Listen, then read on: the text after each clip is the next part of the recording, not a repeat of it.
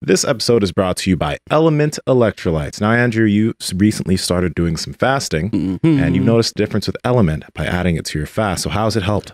yeah, it's actually helped tremendously. So when I switched to a like strict high carb, low fat diet, I was eating on a like a more like scheduled regular basis. So like I would have breakfast where I normally wouldn't have breakfast. Then I would have kind of like something in between lunch, something in between dinner, that sort of thing. And so when I decided that I wanted to kind of try to cut a little bit, uh, I started implementing fasting again and dude it was a lot harder than i remember and i think Mhm. it's because i was used to eating so often so when I started implementing Element, um, it it's really as simple for me as like it kind of almost felt like I was cheating on my fast. Uh, Mark mentions you have to occupy your mind, and that's really what it was for me. I just I had something. Um, you know something with really good flavor but it wasn't going to break my fast. But also like it just kind of rejuvenated me. It sort of like gave me extra fuel to go further in my fast. Now that's kind of like the bro science approach to it. But for you yourself you and mark talk about some of the like the i don't want to say scientifical benefits but there is something more there than what i'm just saying. Well, it technically does give you something to actually make fasting easier because a lot of the times when you're fasting, right, you will have those pumps of hunger during the day. Um, but a lot of the times also you have pumps of hydration. So if you're not Ooh. adequately hydrated, right, you're going to mix up your feeling of lack of hydration with feelings of hunger, which will make you want to go eat. But with Element, obviously, you're getting the adequate amounts of sodium, potassium, magnesium, which will have you actually be adequately hydrated, meaning that now you won't get those signals mixed up. You won't be feeling hungry as often because you won't be mixing up your signals of hydration or feeling lack of hydration and hunger. So it actually will help you get through a fast much easier. Yeah, the hydration, that definitely makes a ton of sense. Um, if you guys are implementing fasting and you really want an easier way to go about things, we highly recommend that you guys check out Element Electrolytes. And you can do so by heading over to drinklmnt.com slash power project. Uh, check out the value bundles. We highly recommend that you pick up a watermelon flavor, at least one box, maybe two, maybe three, maybe four. Uh, either way, you're going to pay for three of those boxes and get one of them absolutely free. Again, that's at drinklmnt.com slash power project. Head over there right now. on, on uh, TV for a long time. He's now he's a big time movie star. He was a rapper. I mean, he's one of the greatest entertainers of our time. He is. Big Willie style. Big Willie style. He has this um, YouTube series on fat loss that's coming out, or because he's losing body fat, so it's like a yeah, he transformation. posted a dad bod pic, right? Yes, he did. That was pretty legit. That was pretty It cool. was. And I think a lot of people, some people like hated on him because they're like, "Fuck you, you still look like a movie star," you know, because he's still handsome and still in relatively good shape. He just got out of shape, I guess, for him, right? For him, yeah, yeah, yeah. Um, but yeah, people were like, after you posted it, and then you're just coming out with the series, they're like, "Oh, we see what you're doing. This is a money grab." But I mean, if you can get people to be more aware of like, you know, trying to People, lose how come people are so negative towards Will Smith? just they're I don't get towards it. everything, Yeah, that's true. That's true. right? It's like, yeah, they're negative towards everything. It's like, oh yeah, I'm gonna make a series on this. Oh, I'm gonna be making some money. F you. he Yeah, as soon as just wants more involved. money. Hmm. Fresh Prince. I grew up watching that show. My first album that I ever owned was Big Willie Style. It was I had it on CD. hmm That was the first uh, ever like um, CD album I've ever had. Summertime? No. No, No, that was wrong album. Yeah, Oh. that was way before. yeah. I think this one was after Men in Black. I wonder when his first rap album came out. Probably in like 1986 or something, right? No. Probably like a long ass time ago. 88 or something. I bet you it's fucking in the 80s. It was a minute ago, but I heard this. Oh, go ahead. I'm going to say 90s. Let's see. I heard this one song off of one of his first albums where he was actually doing a concert to a crowd. Oh God, and I can't even say it, but he's like, it was the '80s, right? So things weren't like Eddie Murphy made certain jokes, right? Yeah. So Will Smith was like, if there are any aggots in the crowd, like whatever you made a joke about that, I was like, Will, what did you just say? Yeah, you're like, huh? What? Oh man, you're right, Mark. 87. 87? Damn, I would have. I was guessing. Well, the song, um, the song that's in the beginning of Fresh Prince is Mhm. kind of his him and DJ DJ Jazzy Jeff Mhm. Uh, were together, and I remember some. I remember some of those. Uh, he, his like, I, I don't know. I, I think that his rap style would still work great today because there's really not as much. Um, there's not as much as like I guess authentic and what I would kind of consider obvious rap. Mm. You know, sometimes rap is kind of neat because the words do go together, and then Yeah. sometimes it's really amazing when they give you that change up in there every once in a while, where one word uh, that you thought they were going to go to, Mhm. and they don't go to it.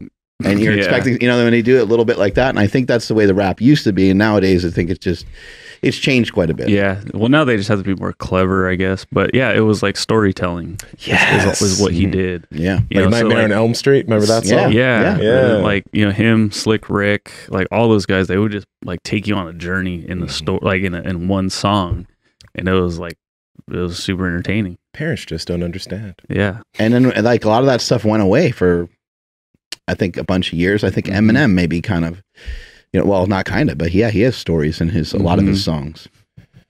And, and just like pure, like, hype music. yes. So what what Like, happened get you was fired up for workout type Mhm. shit. Mhm. yeah, there was that, and then um, oddly enough, like the introduction of like ringtones. So rappers started making shit for ringtones, so Mhm. it didn't have to make any sense.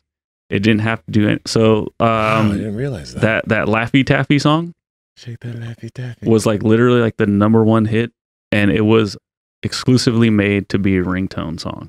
really? And that's people are like, oh shit, you can make a ton of money by like putting in zero effort, kind of like TikTok right now. Oh Long Did I- form content You guys, away. you guys know that I have a TikTok coach? Jessica. Well, I mean, that's one of them. one of them, yeah. I got two TikTok coaches. Is the other one Nsima? One of them's right over here. Million and one views last night. Hey, there we go. Hell yeah. You triggered the fitness community with that one on TikTok. I'm telling you, man. Good. I love it. What happened? I didn't see it. oh, mad. Oh, mad. Oh, yeah. yeah, Now people They are mad. all, They mad. I love it. you getting mad. I'm getting rich. That's like my favorite song.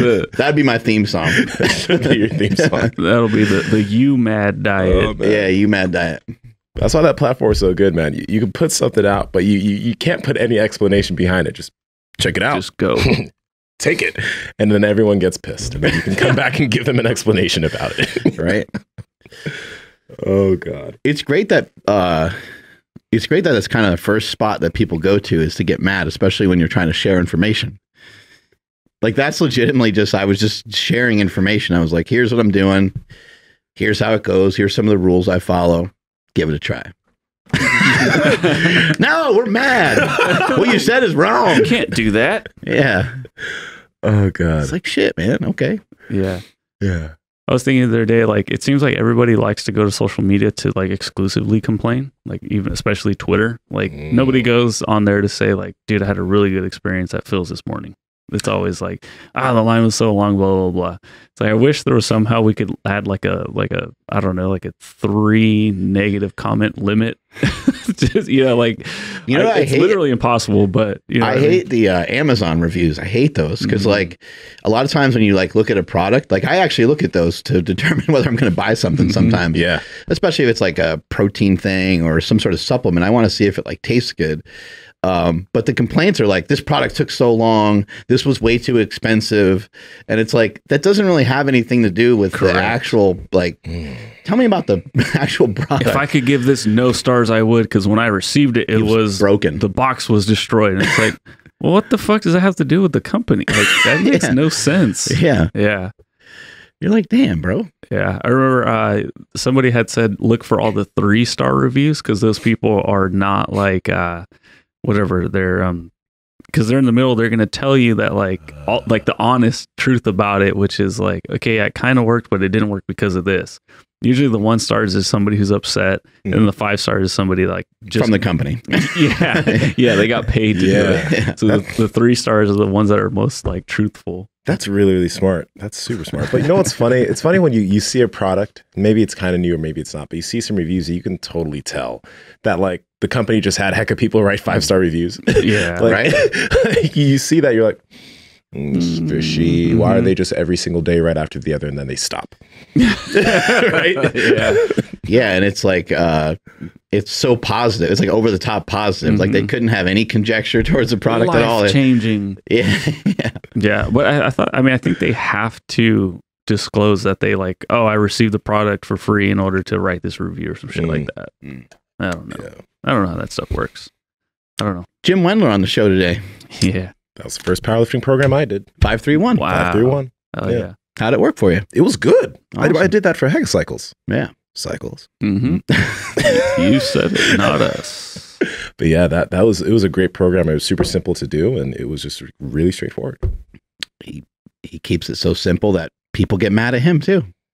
They're like, "There's got to be more to it." Oh yeah, that's true. That's true. There was a lack of like accessory movements, I Mhm. like for like bodybuilder type accessory movements. He'll just kind of be like, "I don't care. Like, just go do some." Yeah. you know, he's he's pretty vague. He is. um, but he wants people to execute the movements well. You know, that's that's his like kind of each person has their kind of uh, their thing, right? Their focus. And when he's talking about five three one, he a lot of times he's talking about you know kind of utilizing some powerlifting techniques. So in this case, he might be talking about bench squat deadlift, and he would just like to see you execute them the right, like do the lift the right way. hmm That's like the thing he cares about the most. Yeah, I think there was an updated version too. I never got to do it, but there was a there was a second five three one. I don't know if he ever made a 3rd Mm. one, but there was a second one, right? I know he made a few different versions of it. I think he made one for like football, and he made one for you know Oh. specifically for other sports, which didn't really have uh, too many changes in it. He was just like, people keep asking me to write one for football. He's like, it's the same program, but okay, I'll, Mhm. I'll write it and I'll incorporate you know some sprints and some uh, general physical preparedness type stuff. But yeah, he, I think right now, I think what's going to be interesting to talk to him about today is he kind of landed on this number uh, to help people get stronger. And I don't know if it's novice or if it's for everyone in general, but the number is actually really, really low. Um, I think it might even be just in the 70s in terms of gaining gaining a lot of strength. Wait, what do you mean number? Yeah. Uh, percentage of your one rep max type oh, stuff. Yeah. Okay. Okay. okay. Yeah. So he's kind of uh, stumbled upon Hmm. um, after years of putting five three one out and encouraging people to. He always wanted people to really underdo it. Like the whole book, he talks about it throughout the whole book. Um, when you do your, it's a five rep max that you're doing. Then the next week you do a three rep max, and the next week you do a one rep max. But they're not maxes. They're supposed to be like more sub maximal. Um, and more recently, he's kind of stumbled upon this number, which I think is like in the 70s in terms of your one rep max percentage. Uh, so it'll be interesting to kind of get to to that today and, and have some conversation because I think I think most people think that 85 to 92 percent somewhere in there is a is a really good place to uh, do a large amount of your lifting. Oh, but no. I think that um, he has a really good point. Um, but it'll be interesting to also learn, like you know, is that is that, is that with newer people? Is that with you know uh, more advanced lifters, or is it uh, you know something everyone can do? I know he's had some experiences where I know he works with a lot of young people too, so that might be something to have in consideration. Like they're they're young, they're fairly new to lifting, and the gains that they get are just different than everybody else. Uh, especially young uh, young men, like just like the results you get when your body's uh, producing that much testosterone and shit is is pretty uh, is pretty awesome. All the more reason to encourage young kids to train. You know, you got like a 15 year old kid and you're anywhere in your family, like go yell at them to figure out a way to go train because uh, these are some years that you could kind of reform your body, I think, forever. Yeah. Slap on some muscle and be jacked for life. I really wonder if uh, I wish there was maybe someone does have an explanation for it because I think there is a difference, a little bit of a difference. The earlier somebody does start and get into the gym, especially when they're developing, because I notice that with a lot of individuals who have started younger, like when they're older, things just are easier. Right. Um, doesn't mean that when you if you start later, you're at a massive disadvantage or anything. I've still seen people that have started later and had amazing transformations, but there I, there's absolutely something to that. The earlier you can start, the better.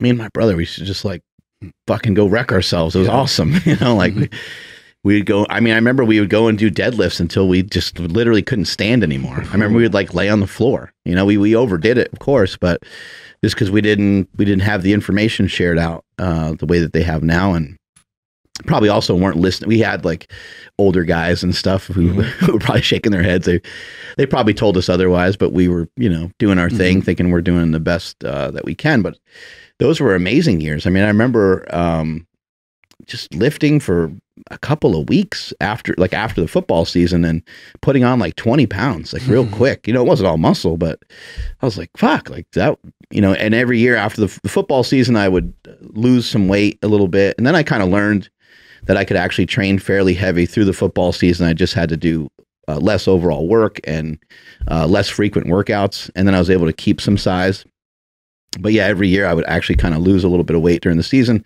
and lose a little bit of strength. Uh, but as soon as the season was over and I touched weights again, yeah, boom, everything just exploded back up. Mhm. Yeah, I would say probably like sports also plays a huge role for kids. You know, like I I know for so for me, like I did start playing playing sports, and then everyone got hella big, and like everyone started kicking my ass, so it, it wasn't fun anymore. But my brother, he was a superstar in everything, and he played all the way through high school. And like he had like offers for like full ride scholarships, but Oh snap! What sport do you play? soccer.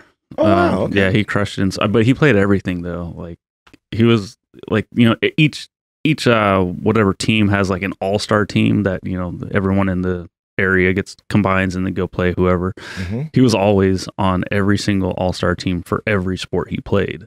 He just just naturally just a fucking great athlete. Wow, Had zero interest in it though. I know. that's so interesting. but what I'm getting at is like for him, so like these days he's got uh four kids now. I think I said that right. Um, doesn't spend much time exercising. He's still like he'll bike ride and he'll do things here and there. Like he's building a home gym now after you know all the uh, stuff that happened last year. Yeah. So he's doing a little bit, not a lot, but he's still in great shape without like really needing to do anything. hmm And, you know, same thing with my dad. He played sports all the way up into his like, you know, 50s. And, you know, he, he has heart problems and stuff. But like, if you look at him, he's, he's still in like decent shape. You know, Yeah. he's getting older, so he's getting like a little bit skinnier. But yeah, I think for, for us, sports like really did save us because like my fam, like my entire family, all my uncles and stuff, like everyone still like would, would drink into their old age. But because they were all kind of already in shape or at least close to it, I think they, they were able to hold on to a lot of that versus others that didn't play sports. And you look at them and it's like, oh, Mhm. yeah, you know, some uh, mistakes were made. yeah. Being in shape can save you from a lot of potentially bad, bad habits. mm-hmm. Like if you do like to have a few too many beers, but you're in decent shape, you're kind of protected. I'm not suggesting it, Mhm. but the truth is you're kind of Mhm. protected. Yeah. You know, if you're in shape and you choose to go get a bit of fast food, you're kind of protected. Not suggesting you do it, but you're kind of protected. Yeah, and just don't forget, you know, having muscle mass on you. Your body's working for you rather than you having to spend more time. Um, I think the time factor is not really anything that people really talk about.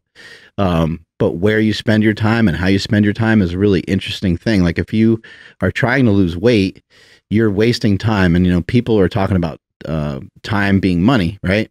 And so time, if if time is money, and you are spending a lot of time doing cardio, but you're sabotaging your diet with bad food here and there, well, then you're wasting a lot of time and you're wasting a lot of money. Um, people talk about because you have to spend more time getting in shape. So, I, so just Ah, okay, okay. kind of think about it this from this uh, perspective. And I know that people are just always thinking about their immediate money issues at the moment. Like I don't have 60 bucks, so I can't get that. But I think if you are, if you have better health practices over a long period of time, you'll be saving a lot of time because you won't be running in circles. You won't be chasing your own tail. Mm. Um, I see people doing that with a lot of cardio, which I don't have any problem with cardio. I think it can be fantastic, and I never want to discourage people from movement. I always want to encourage people from movement, but um, I, I think your time is better spent, a better focus, more on training, more on lifting weights. I think that's where your money is because you're going to build muscle. When you build muscle and have muscle, that costs you something. It it burns calories for you. You know, a 230 pound person that has a pretty good physique is going to be burning X amount of calories more uh, than someone that weighs, um, you know, 270 pounds. That's a really high body fat percentage. So, you know, uh, or even someone that's smaller that that's uh, that's still fairly lean but just has less muscle mass. They're going to require uh, less calories. So it's it's um I just sometimes see people kind of spinning their wheels with a lot of what they do in training. Yeah, it's it's really tough. Like I I get a lot of questions from people like, "Oh, I'm like 18% body fat. Should I start cutting? Should I start mm-hmm. bulking? Like, mm-hmm. what, what should I do?" And they're just starting. I mean, it, it's pretty tough, but like most people that are there, you know, they should probably just try to hold that weight and recomp. Just recomp at that stage, especially if you're starting out. Like, it's a good idea to just keep the number on the scale, the number on the scale, and focus on training in the gym. I think that's one of the hardest things. It's the, one of the hardest things is just to to enjoy the gym, to enjoy getting stronger, to enjoy gaining muscle, um, and, and enjoying that aspect of things rather than paying attention to the way your body's looking consistently. Mm-hmm. Because if you're able to do that and your weight stays the same, you're gonna and, and you improve your performance in the gym, you're gonna be getting stronger, which means you're gonna be getting bigger, which Right. means you're gonna be gaining muscle and you're gonna be losing body fat. And that is just it's just this focus needs to be shifted. What did the guy say to you about bodybuilding and jujitsu? Somebody said something disparaging to you that was uh, like you can't be like a pro bodybuilder. Oh yeah, yeah, yeah, yeah, yeah. he, he told me that um, like you're already a pro bodybuilder, but don't expect that you're really going to be able to do that much when it comes to jujitsu or like compete at a high level when it comes to jujitsu. And what we'll be talking about here today is kind of this very thing with the conjugate system, the, the whole point of the conjugate system and what conjugate actually means. It doesn't have anything to do with board pressing and box squats and those things. That's what Louie Simmons made popular. And that's, he did adopt a lot of the Russian training and he did adopt a lot of principles of conjugate training. But the conjugate system is actually really simple and it could be applied to any form of anything that you do uh, in life or in sport. And it's really just the raising of multiple capacities at one time. Mm. That's all that it is. And I know that you're a big believer in kind of like, fuck what you heard, man. I think that you can be big, strong, and lean. Yeah. Like, why why not? And it might take a long time, and it might be um, some unconventional thought, and there could definitely be some um, some merit behind bulking and cutting. Uh, but maybe like unless you're trying to body build, I don't I don't know if there's like if you don't feel comfortable with your body and you you feel you feel fat you know you feel like you're fat. I think that that is the best option. I think a recomp is the best option. I don't think i don't think necessarily bulking is a great idea. I don't really think that cutting is a great idea either because we see heavy individuals try to do what they would consider to be a cut and they pull way too many calories away from themselves and it ends up being detrimental and they end up having such a hard time staying on the diet. Yeah. Is is our guest here? Yeah, he's here, but I definitely we need a podcast about that whole topic yeah because I have a shit ton of questions for you guys, or at least some important ones for me. And Like- there's there's a confliction in my mind that I have to talk about, but I won't mention it right here. Yeah. whoa Oh my god, he's Coming in hot. coming in sideways holy shit look at that beard That is a magnificent beard, sir. wow Oh wait, I got. I got my Hello? hey what's up buddy Can you hear me all right, Mark? we can hear you and you look fantastic sir I am in a hotel room in Texas. So down there I'm uh uh I'm with Mason right now and it's been a clusterfuck trying to get this to work, but I'm finally I think I got it. Here we So- go. Looking and sounding good. Yeah. How you guys doing? we're doing fantastic um what's going on with All your son how's he doing he's uh what in high school now and he is he he's playing sports and stuff like that lifting some weights He's actually uh, a senior this year. no way yeah, and he uh, right now he's uh, he went to go to summer lifting. So uh, holy shit, dude, he's 6'2", 220. Ooh. Dang. Yeah, he's making me look like he's a quarterback, which is retarded for that that size. But uh, it's uh, I always remember the day that he hugged me when he was taller than me, like hugged down, yeah and uh, it was very depressing. And that weekend, I beat the shit out of him with training. Uh, So just to let him know, the old man still got something left. I think uh, fat, disgusting Jesse Burdick told me that your son hit a pretty big PR uh, getting ready for Yeah. football or something like that. And he wasn't even really lifting that heavy. And you kind of have stumbled upon, I guess, more recently, some uh, what people would consider lower end percentages for people to get strong. That's something that we preach here on this show quite a bit. What have you What have you found, and what were the results for your son? The uh, are we starting right now? yeah, to yeah, we're in. We're in. Oh, okay. All right, good. So, uh, so to just to preface this over, uh, I guess the COVID or whatever you want to call it, uh, he had access to a really good weight room. and uh, he wanted to lift obviously for football. It should be noted that he's not like a lifter, if that makes sense. Mhm. He's not like you know do or die. Like uh, he just wanted to lift for football, and he wanted to. Honestly, it was like an excuse for us to hang out three times a week on Zoom. So uh, and uh, so I just I think we lifted uh, yeah three days a week or so whenever he had time, about three days a week. Anyway, uh, to emphasize how he's not really a lifter, and this I don't want to like tear into him, but it's like, Dad, what's uh 165? What is it? I'm like 45, 10 and a five. All Right. right. And eventually I just told him what weights to put on. He had no fucking clue. and all we did was like a circuit of three exercises every day. So for example, on bench day, he would do bench press, uh, chin ups, and dumbbell squat or something. And then on trap bar day, or you know, whatever, uh, press and dumbbell incline rows. So it wasn't, we didn't change up exercise. We didn't do anything fancy. On the two other exercises, it was just sets of 10 or whatever. And I think the heaviest weight he handled on the bench was 165 for like five. I, we never did like PR sets or anything. We just, as I tell the kids that I work with, sometimes you just got to mail it in and have great, uh, great days or just good days, you know. And consistency is king, and this proves it. Uh, he enrolled at a new school here in Texas, and uh, his max out day he did 235 on bench press. and Awesome.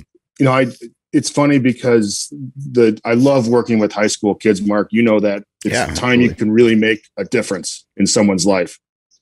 And uh it's always the seniors who finally figured it out. Like, don't worry about your training max. Don't worry, just worry about doing the set correctly and pushing hard and, and you know, the stuff that we all know. And it's like, God, I wish I had these kids for one extra year. I wish they would because it all kind of blossoms in their head about uh, just doing the the right things consistently over a long period of time. And uh, but uh, you know, I get asked this question quite a bit. Get like weird uh, DMs, I guess you call them. I don't know. you know, why aren't why don't you coach somewhere else? Why don't you do this? Because you got we've had great success, and uh, I can honestly say this is uh, control wise from like a egotistical standpoint like i have more control in a high school environment than i have anywhere in college and especially obviously in the pros i'm not saying i'm even qualified to work in the pros but and number two it's the, the most rewarding thing i've ever done in my life and uh, you know one of the things as you get older you get less stupid.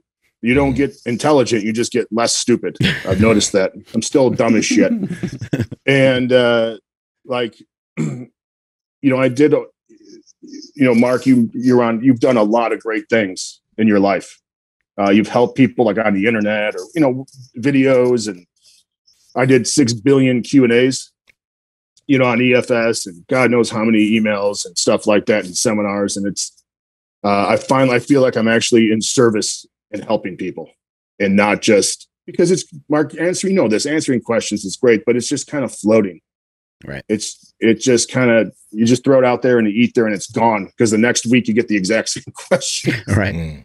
and uh you know when you have one-on-one uh uh work with the kids you can really really do a great thing so and it's not just for football you know you hope it extends into other parts of the of their life now that's on them honestly but you got to give them some tools it's just like being a dad you know uh like i tell uh, my ex-wife you know when we have some issues with mason it's never really bad it's just you know, like you know it's his journey he's got to figure it out too and we have to be okay with that uh so I remember anyway. when I was doing some uh, coaching, a lot of the kids would just, you know, hang out, you know, way after, you know, we were done Yeah. lifting, way after practice. And I started to kind of recognize like, oh, like they're like, I can't close up, you know, I was trying to close up the gym at like 8 PM or whatever and get to, Yeah. to go home to my, to my family. And I was like, I can't really close up the gym. I'm like, I got, they Yeah. don't, they don't want to go home, you know? And, and then yeah as we got to know each other, you know, then I would find out why. And it was just like heartbreaking. You're like, oh man, but oh it's tough you're right about being able to make a, a huge impact and, and kind of set some of these kids up for life with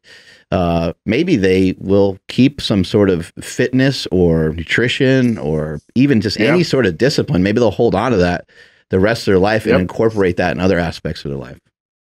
you know just from a because uh i mean you've been to London it's not a very big town and the amount of kids that can go on to play, you know, they might get financial aid for football or some sport. Usually, obviously, it's football, but um, you know, that's they wouldn't have gone to college.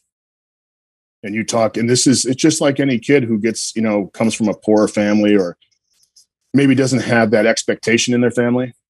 And uh, we can talk about expectations later, but um, all of a sudden everything opens up, and you talk about changing the uh, the the course of the entire family for the generations to come.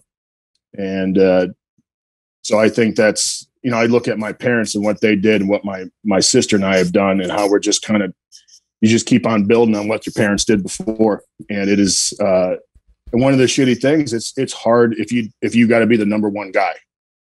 Hmm. Uh, you know, if, if you're the first person to really make some steps, that's fucking hard, but someone's got to do it. So it might as well be you. So fuck it you know. So, you know. Really, anyway, yeah. Mark, how's uh, how's uh, you? How many kids you got now, Mark? I got two kids. Uh, how old is Jake? Uh, Jake got to be eight, 17? Yeah, he's 17, and uh, Quinn is 13. My daughter, oh, Quinn. my lord. so far, so good. you know, no one's in no one's in juvie yet. Not not yet, not yet. We're getting there. We're getting to that. Real quick, I want to say thanks, Jim, because um, you think yes. Wendler five three one was the first program for like powerlifting that I did when I was eighteen. Uh, I think I was 18 oh, or 19. Geez. So that was the first time, like, I, I, was training like bodybuilding type stuff up until that point. But I was like, I want to get stronger. Yeah. I don't know how the fuck how. I was Googling it and I was like, oh shit, what's this? I was like, ooh, this looks cool. And that shit got me like, that, that, that got me pushing in the right direction. I did that program for a minute. So thank you. Cause I don't wow. think I've ever, I I've never met welcome. you in a minute. Yeah. I love hearing that. Yeah, it, it, it was amazing. Um, but actually, before the episode, before you came on, we were all talking here and we were like, you know, I wonder since you've worked with so many kids and so many high school athletes, and also you've worked with adults, um, I would wonder to know if, like, do you see a big difference uh, and maybe a mat like more of an advantage? It might be an obvious question if a if a younger kid gets into lifting, like, do you think it changes the way they are as like in terms of their ability to make progress even as an adult? Or do you think yeah oh, you get where i'm going with this yeah well yeah. here's a couple things is um uh i should probably preface this is uh once we started winning we had kids that were eighth graders trying to get in and we allowed them in obviously we want eighth grade you know anyone who wants to show up because at the beginning we had great participation but we didn't have a lot of numbers so it was fair you know four kids come in it's not a big deal and then we started winning more and more. And all of a sudden we had 15, 20 kids. And it was uh, crazy. Be uh, I couldn't do both because now we had more numbers uh, varsity and then we had all these young kids and you cannot turn your back on young kids. It is, I always love to tell this joke, Mark. We, you and I, and 12 of our friends all squatting a thousand or more can have a Texas squat bar for 10 years and be the bar would be totally fine. In less than a week, that bar not lifting at all would be bent uh, by junior high kids. It is unfucking believable what I've seen sleeves. I've seen sleeves break off of uh, barbells. I've seen broken plates. I've seen a plate broken in half.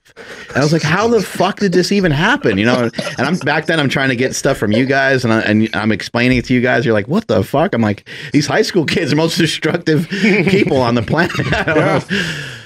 And uh, so uh, my wife volunteered because she got tired of really bit hearing me bitch because it was every day I would come, you know, home from training and just be like, I'm so frustrated. I feel like I can't do anything and I can't spend any time with the varsity kids. And those are the kids that right now are going to help us win anyway. So my wife started a junior high training program for seventh and eighth graders for the football team. So now they have a kind of a pathway. Okay. So obvious, the, the one thing I've noticed and um, is the first, I don't know, I'm just going to make up a number, maybe 12 or 13 years of your life will set, let's just talk physical, the metabolic uh, standard for your body. Oh, wow. So if you're for 12 years, you're not doing anything, you're just getting fat and just, you know, being gross, uh, you're going to fight that for the rest of your life. Mm. I mean, it's going to be every, it's going to be socially, it's going to fuck you up. Mentally, it's going to really screw you up.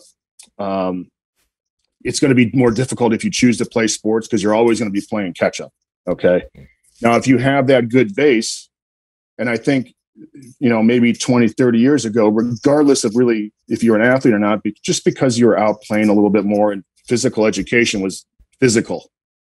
Um, even the non-athletes were set up fairly well, and you can see that in adults today. Um, be, oh, as a prime example, uh, when I wanted to lose all my, the, you know, the West Side weight, uh, it was easy because I had so many years of being in shape and fairly lean. I'm not ripped or anything, but my body just reset to normal.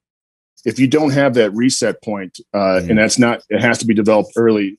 It is something that you're going to fight your entire life, and all you have to do is uh, look at people who are super obsessed with their diet, um, who that's all they want to talk about is their weight loss or what they're eating and stuff. Where if you have a fairly uh, athletic and healthy background, it's like, why don't you just do the right thing? You're fine.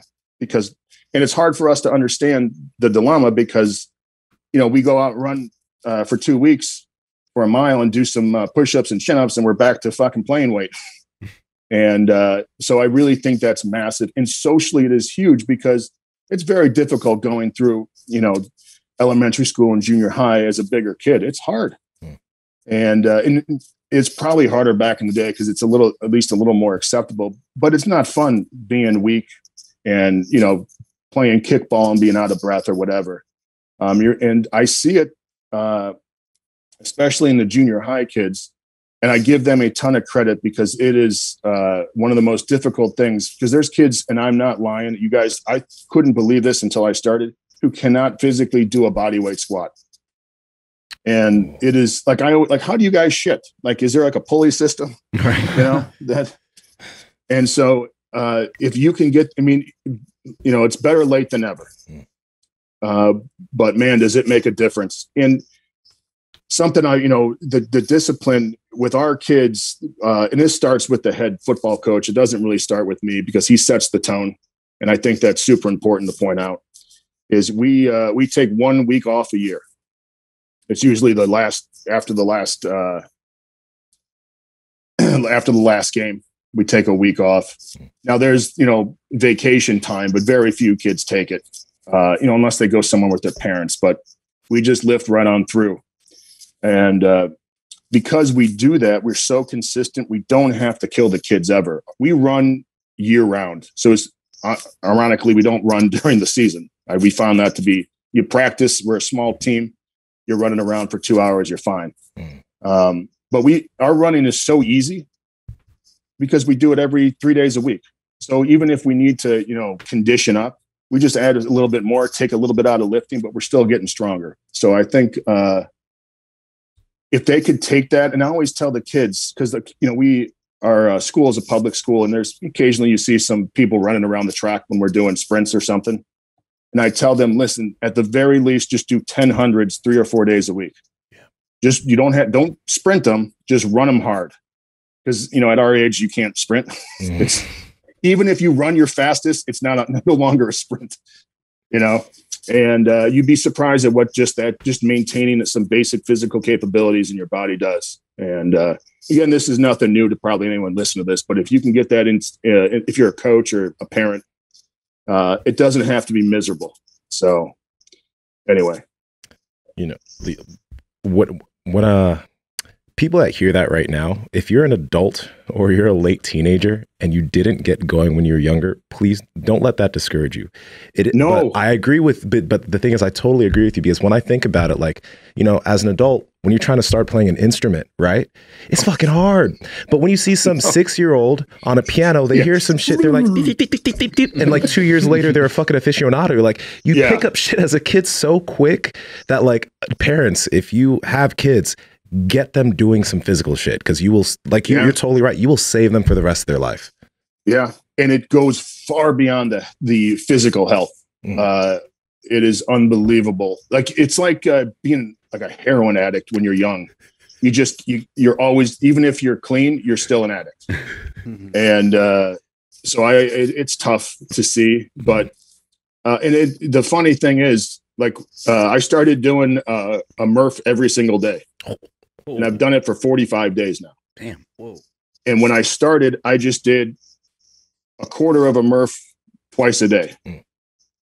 And the point being is, like, I knew I wasn't capable of doing it. I didn't want to feel like shit. I hate, and when you have a family and you got a business and you got job, you got all this shit going on. I can't. I no longer can afford uh, doing a set of 20 rep squats till I'm dead, and then doing another hour of assistance work and then pushing the probably because I'm useless as a human. Mm. And Mark, you know exactly what I'm talking. You guys know, like you just, and that's fine when you're 20 or 15, but it's not. So to make a long story short, I just over the pa- course of two months prior to doing what I'm doing now, I slowly just knocked away at it until I felt I was completely like normal and easy.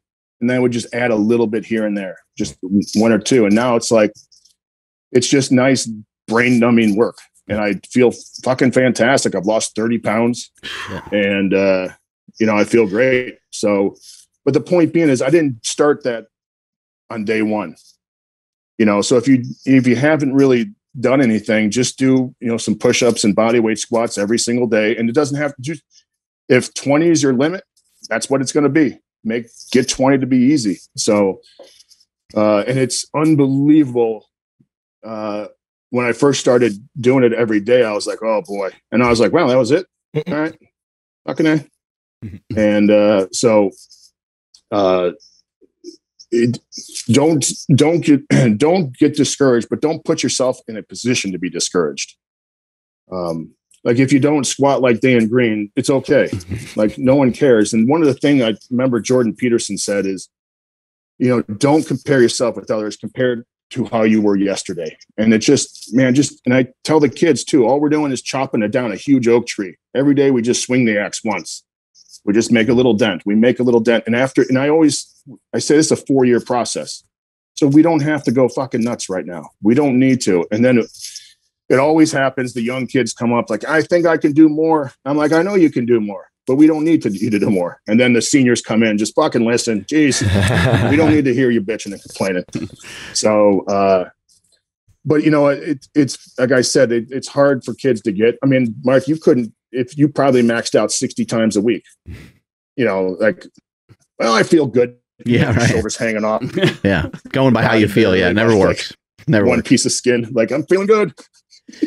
Uh, I remember after you uh, So after you were done powerlifting, um, you squatted a thousand pounds and had some great success in powerlifting, and you wanted to kind of move on Mhm. and be healthier. I remember like talking to you one time, and you were like, "I'm going to lose like a pound a month for the next like two years." and I was just thinking, like, what a Yeah, slow, I'll be all right. what a slow fucking process that is.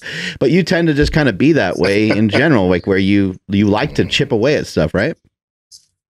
Well, it's um, it's meant. Here's a. It's mentally, it's much easier for me, and as someone months, and then they put it right back on, Mhm. and I learned. Uh, and I didn't learn like I didn't set out to learn this. It's just uh, you have to develop great habits. And I remember like when I was in high school, um, like I loved to lift more than anything. Like it was everything, and any kind of like hard training. It was I loved uh, running hills because Walter Payton ran hills, and and so I had I was developing my habits just through pure like anger, hate, and motivation. It was just all emotional. And then fast forward 20, 30 years, and I no longer have a reason really to lift. Let's just be honest. Like we don't really need to do some of the stuff that we do. Like my wife says, like, what are you, what are you trying to be the Murph King? Who gives a fuck? I'm like, yeah, but I won't. But anyway, uh, she, um, but it's those days. Like I, I had this epiphany. It was probably 10 below, and I lift in my garage. It's fucking cold. What the problem is, once you start training, it's you start sweating, and then it just gets really bad because you got a nice thick. No matter how well you dress, it's just horrible. Uh, it's freezing now, and I was sitting on the bench, and I looked. Uh, I had a weight vest on. And I kind of looked up, and I'm like, "What am I doing? Like, I'm miserable right now." And I realized, like, I did a full 40 minute workout or something with the weight vest, and I never questioned the reason. It's just that's what you do. It's like brushing your teeth. You know, it's just you wake up, you brush your teeth, put on some coffee, and you're like, I don't even know what I'm doing anymore. But and it's just just the discipline of uh, and those that's what really starts to carry you and i know like i we we uh, came up and that's the day i came up with the we are one of our sayings and t-shirts says discipline and there's a line and then motivation. It's discipline over motivation. And that's the day i came up with that. And uh what's the best thing is like i didn't realize it for like 10 years. You know it's just with what you do. And you know not i'm saying 10 years after I had gotten done with real training. And uh because uh, it's, I don't know what, like, I'm assuming, Mark, you're not doing any meets anytime soon, right? Nope. And in you, I still love to train, but it's harder to train when you don't have a specific goal. It really is. And uh, I think that's kind of that's when it's that stuff starts carrying you. Just like studying. I mean, I hated to study, and I had I had horrible study habits, but I if I would have done a little better in high school with developing those habits, it would have been much easier for me through college. So anyway, you know the the discipline over uh, motivation thing it's it's that's massive because it's extremely important especially when you're trying to change your body and we were again talking about a concept um, before you came on of uh, especially when you're younger with social media and you see all these jacked strong ass people um, when you're trying to transform your body, you're always so focused on your body, right? Whereas if yes. you were to be able to be focused on your performance in the gym, getting stronger, just focus on the gym, getting bigger, yep. the body comes in time, right? I was lucky yes. when I started training when I was younger, I didn't have social media. I was just in the gym yeah. training. And I made a lot of progress and I was like, it, it was easier. So how do you how do you get the kids that you're working with who have social media, who see all these crazy, strong, jacked, athletic people? How do you get them not to focus on the way they look in the moment and instead just to focus on training? Um that's a that's difficult. Uh the one we stress performance. I mean, you, we're in a sport, so uh, there's plenty of great athletes uh, that don't look great. And now they're incredibly talented, and there's a lot of other factors that go in there, especially the elite athletes.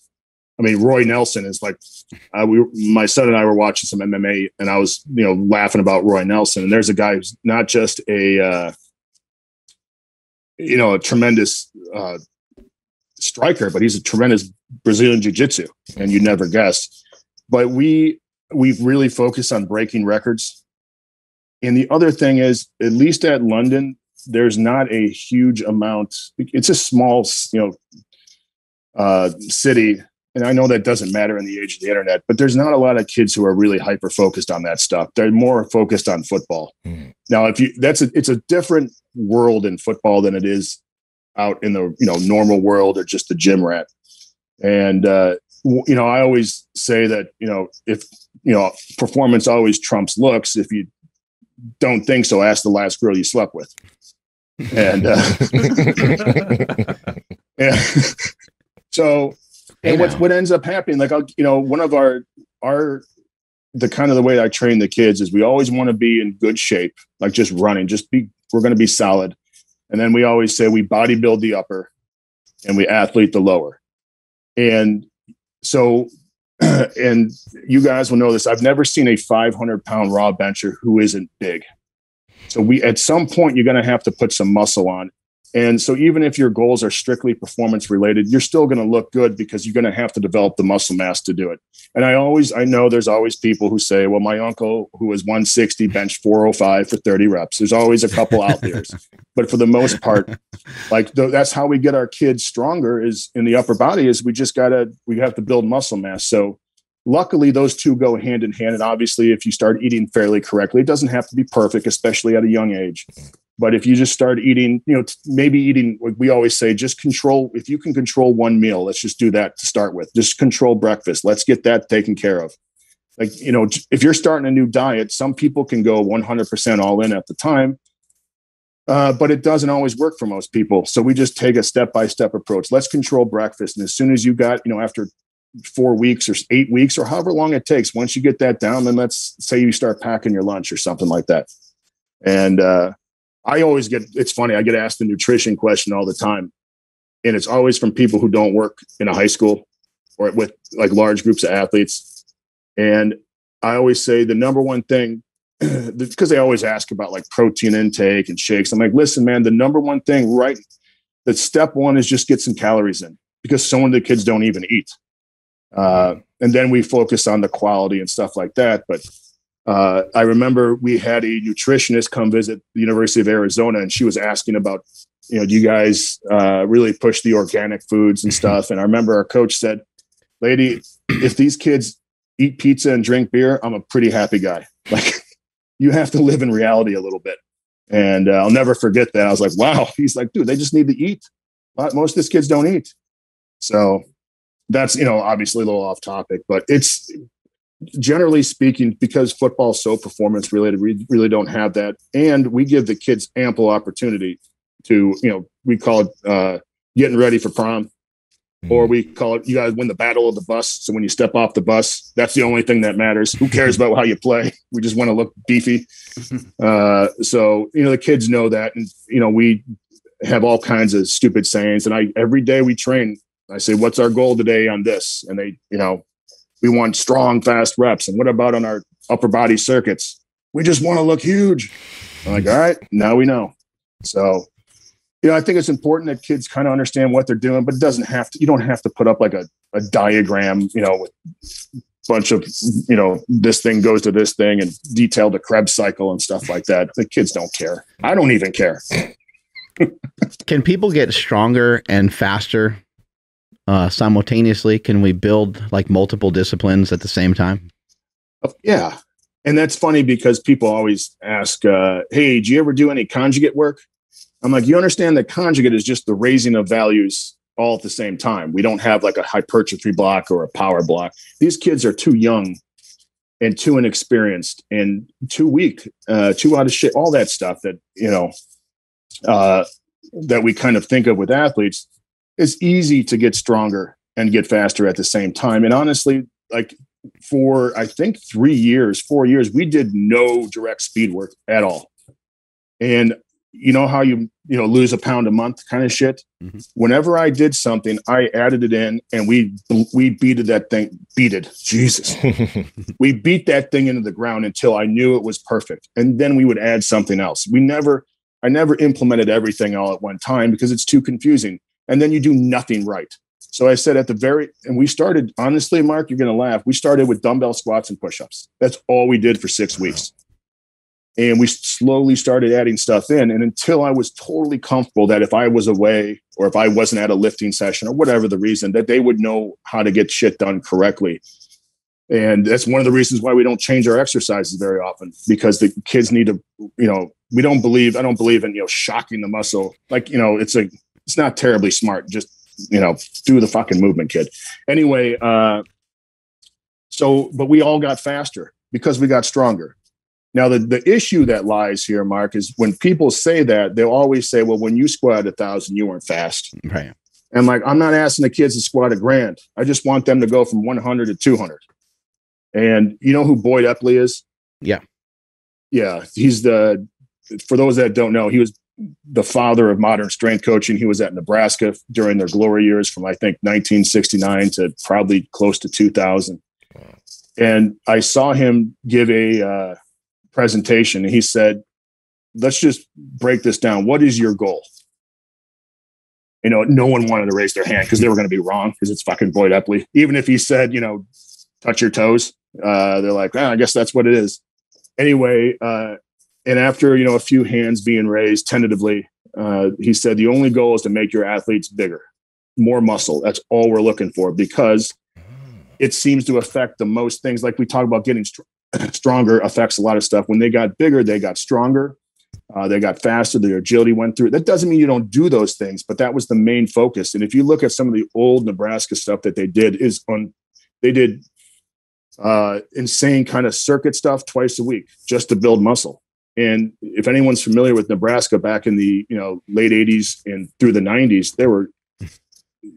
It, it, my here's the best way to, to talk about Nebraska. My wife, uh, Juliet, before she met me, like watched like a half of a football game in her entire life, and I put on an old ESPN classic of Nebraska playing. Now she had no idea it was an older uh, football game, and so she sits down and she's eating and she's like, man, who is, who's this team? They're all fucking strong. No one's fat. And I was like, it was a weird thing. I'm like, holy shit, you're right. And uh, so that's when I really started looking to exact. I'm, I'm a huge Nebraska fan, but I never really looked into exactly what they did. Remember the um, And, uh, uh, Lawrence Phillips and uh, Tommy Oh. Frazier? Like what mutant? Like other players just bounced right off of them. No one could tackle them. They just I know. they were they were It's- it's- unbelievable. And what's funny about their defense is they played, uh, I think, a 4 3, doesn't matter. And only two of their guys, their two inside linemen, were 300 pounds. Everyone else was 240 and just incredibly strong, incredibly fast. And uh, so the Grant Wistrom, holy cow, was he just an absolute force. Uh, but if you, I mean, a lot of those guys, just because I'm a fan, I know of them, but you know, they didn't uh, have ton, you know, they do well in the pros or even go to the pros, but my God, could they play? And so that's been for the last three years. It's really been our focus is just we build muscle, and in the process, we tend to get stronger, and uh, we just keep our conditioning really solid, and we we do mobility, you know, obviously every day, and then during the season, yours truly runs the two yoga sessions for recovery. so it's oh, dude, it's bad. The kids I are probably uh, because they're getting like bigger and they're getting stronger. Um, they're probably recomping their bodies, and it's probably uh, more likely you're starting to see some of these young men pop their shirts off during the workouts and stuff. Then they're Oh. building a lot of confidence and stuff like that, right? So there's a rule that Uh-oh. if it's uh, if they're outside and the the seniors decide to quote pop tops, everyone's got to take their shirt off, and it's probably the worst part of my life. Just bunch of pale, gross kids with their shirt. I let them know too. I'm like, God, everything, everything's horrible in my life right now. So, but yeah, and it's funny because with the junior high kids, my wife sees a massive change after about a year. They start strutting around. The coaches notice it. The kids get a little, ah, but you know this. They get super confident. right. and it, again, that goes beyond just uh, the the playing. That goes Right. in their social lives too. You know, they have developed confidence in themselves. And the other thing is, you know, it shows you that man, if I apply myself to something and just commit to it, man, can I make changes? And you talk about something that will carry over if you can apply that to whatever you're going to do. Um, I mean, Mark, you're the perfect example, right? You had a, you know, you were never going to technically be what a businessman, right? Or any anything Right. remotely successful, and it took you a long time, a long fucking time. Uh, so I think that you know the the more the older I get, the more I realize all this stuff. So, uh, boy, are the kids lucky to have me, huh? Teaching them. Uh, you you mentioned a little bit about recovery, but um, how are you um, taking care of the kids, and making sure that they don't get injured or get anything like that?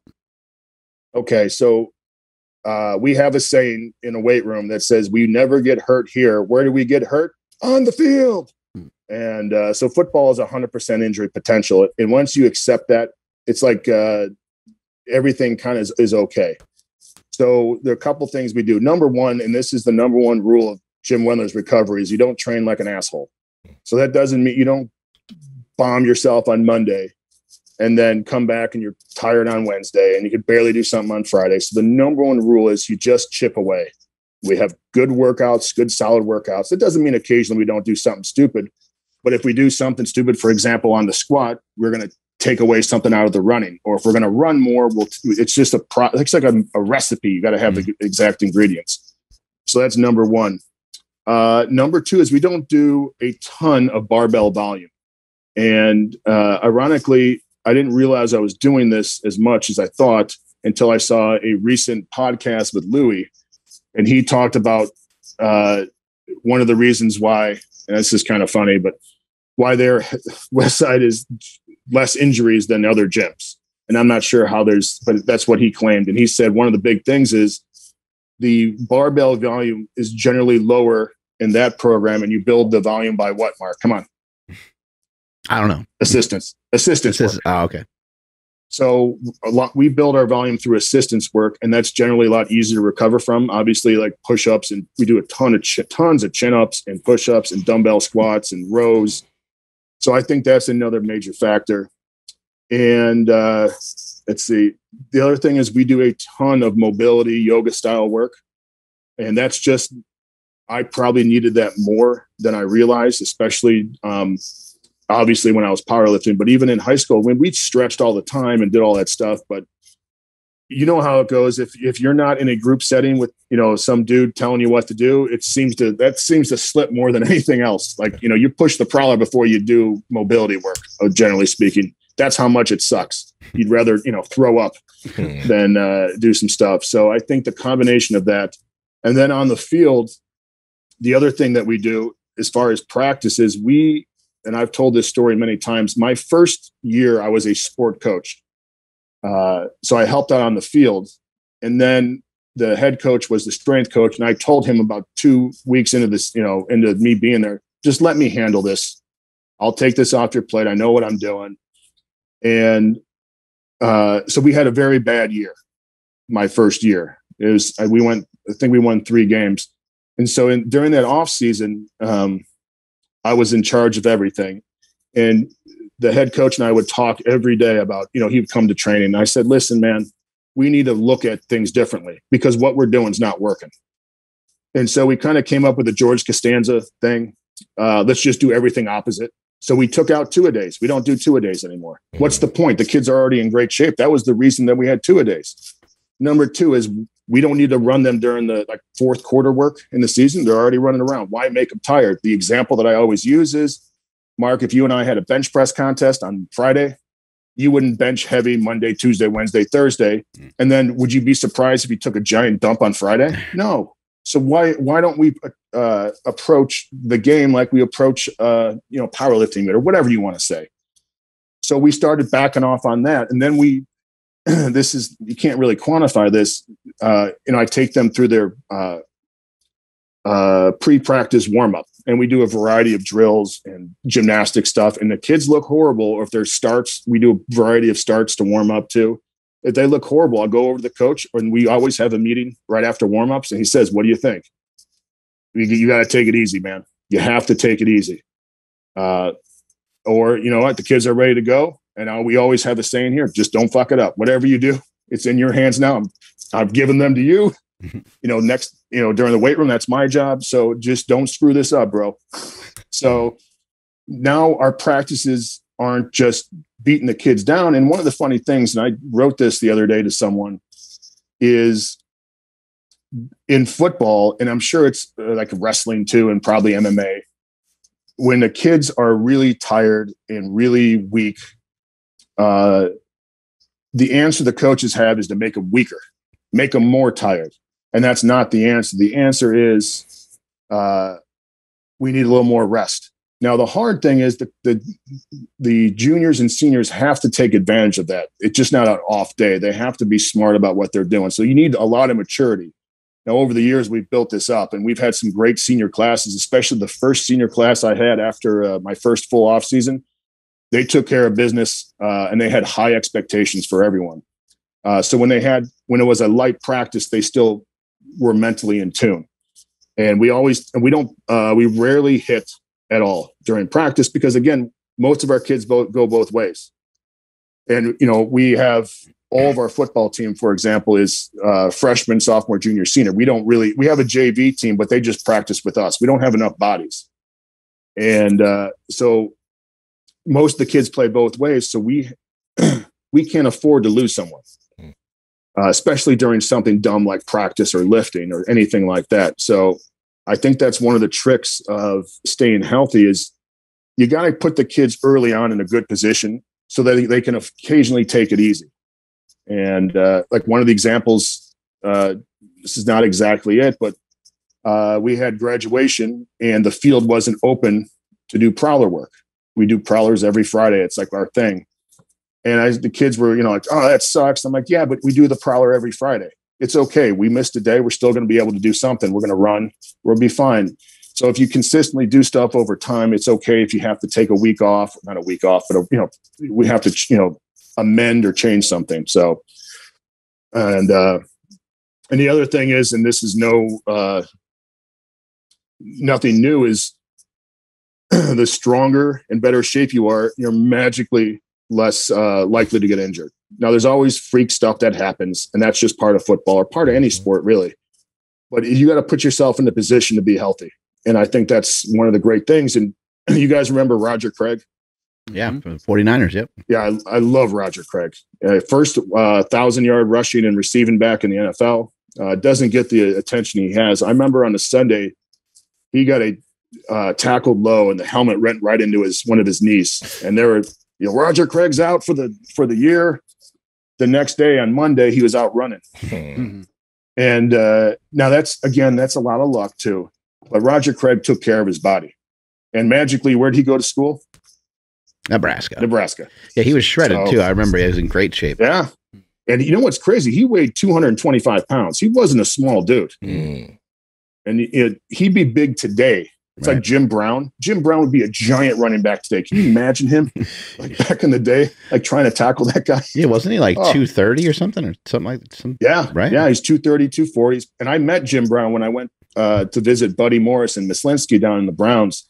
Uh, Jim Brown was in the in the building. And I got to meet him. Even he was probably 70 some odd years old, fucking giant still.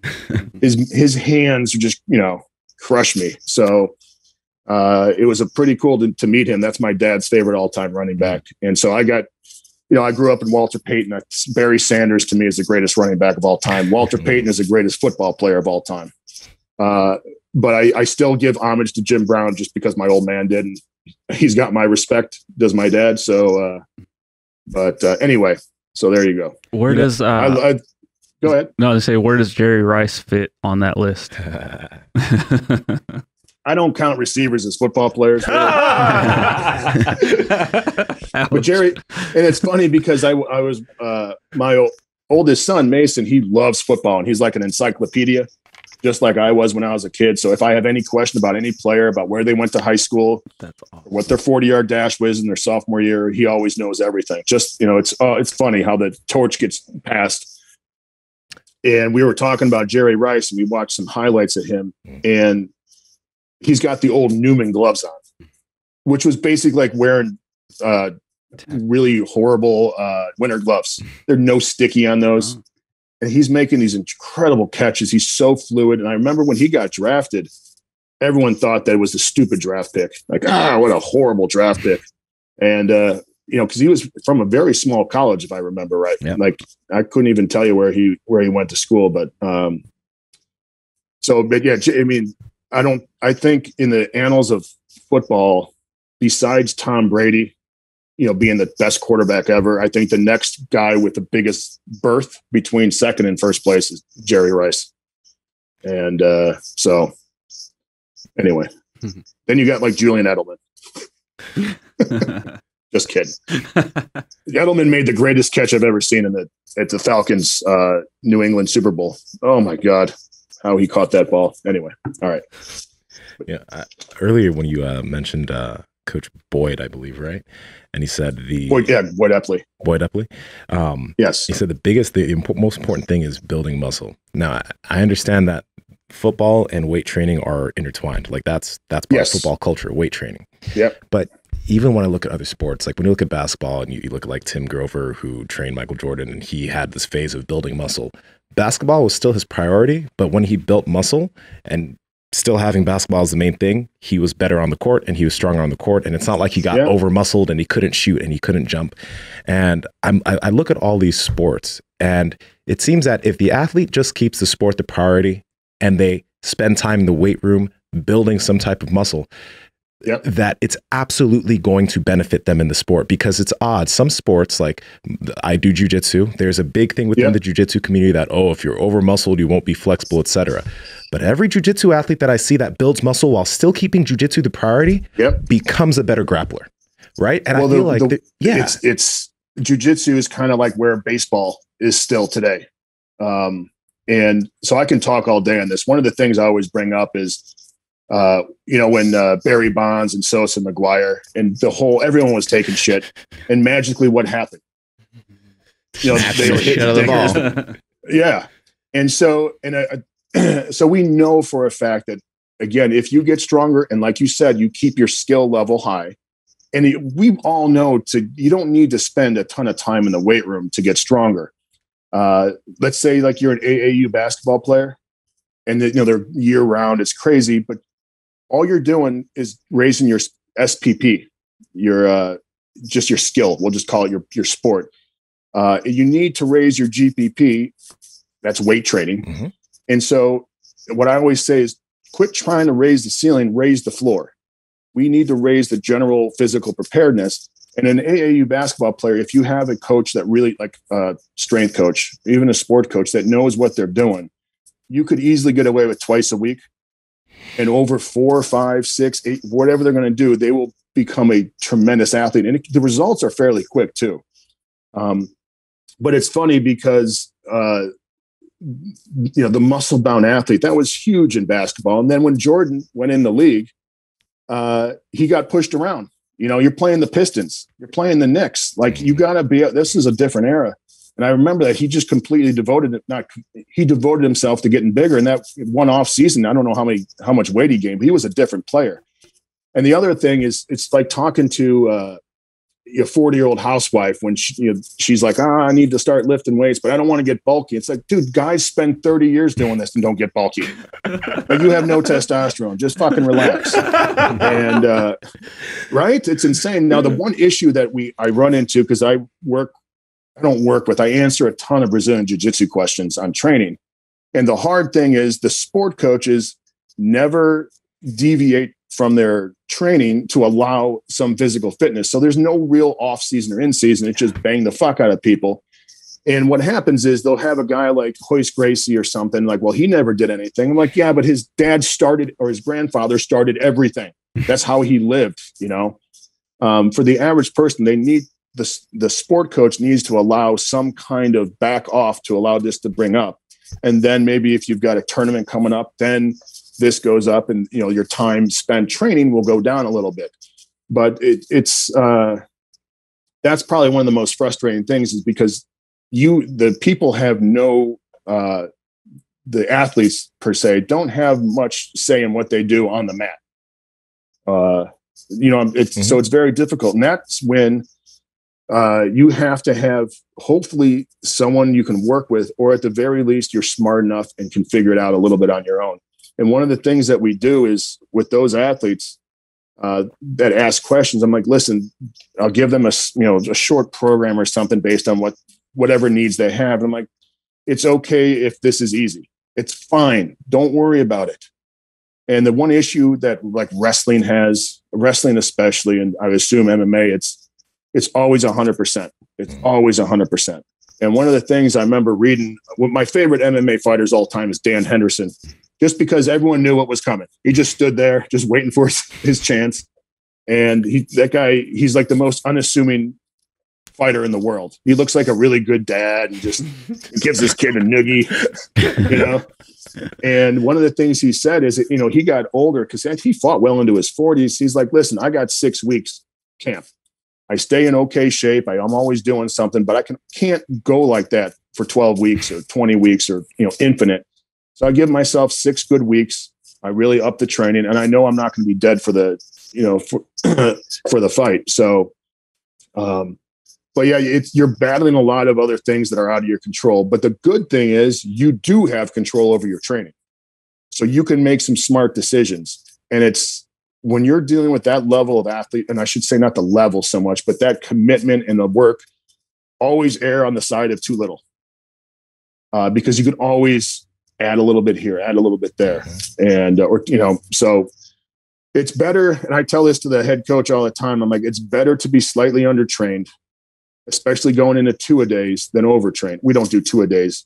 Uh, now, I don't think we're undertrained at all. But if you're going to be somewhere, because once the season starts, you can never get that back.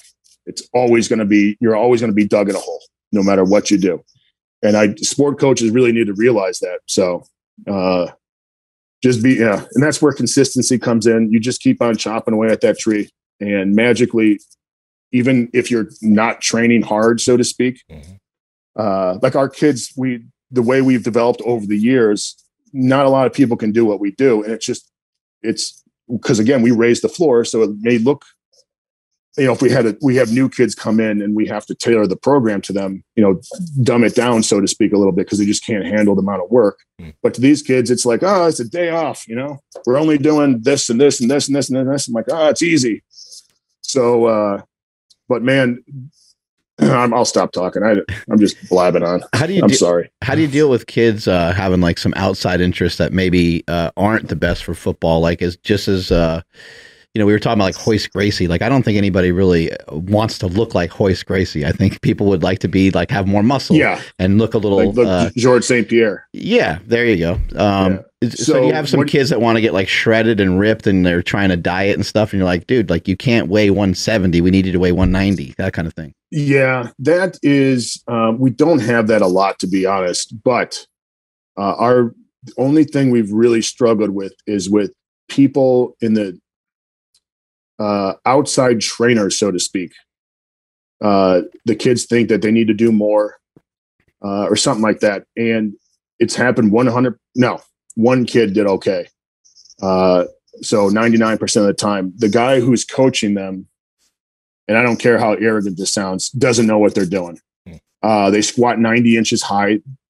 They may, uh, for example, I know this, they had a kid who could uh, 135 for a good solid eight to 10 reps parallel under control. He told my wife, well, we were squatting 225. And he, she's like, well, fucking show me. Show me what you did. And it was such an abomination.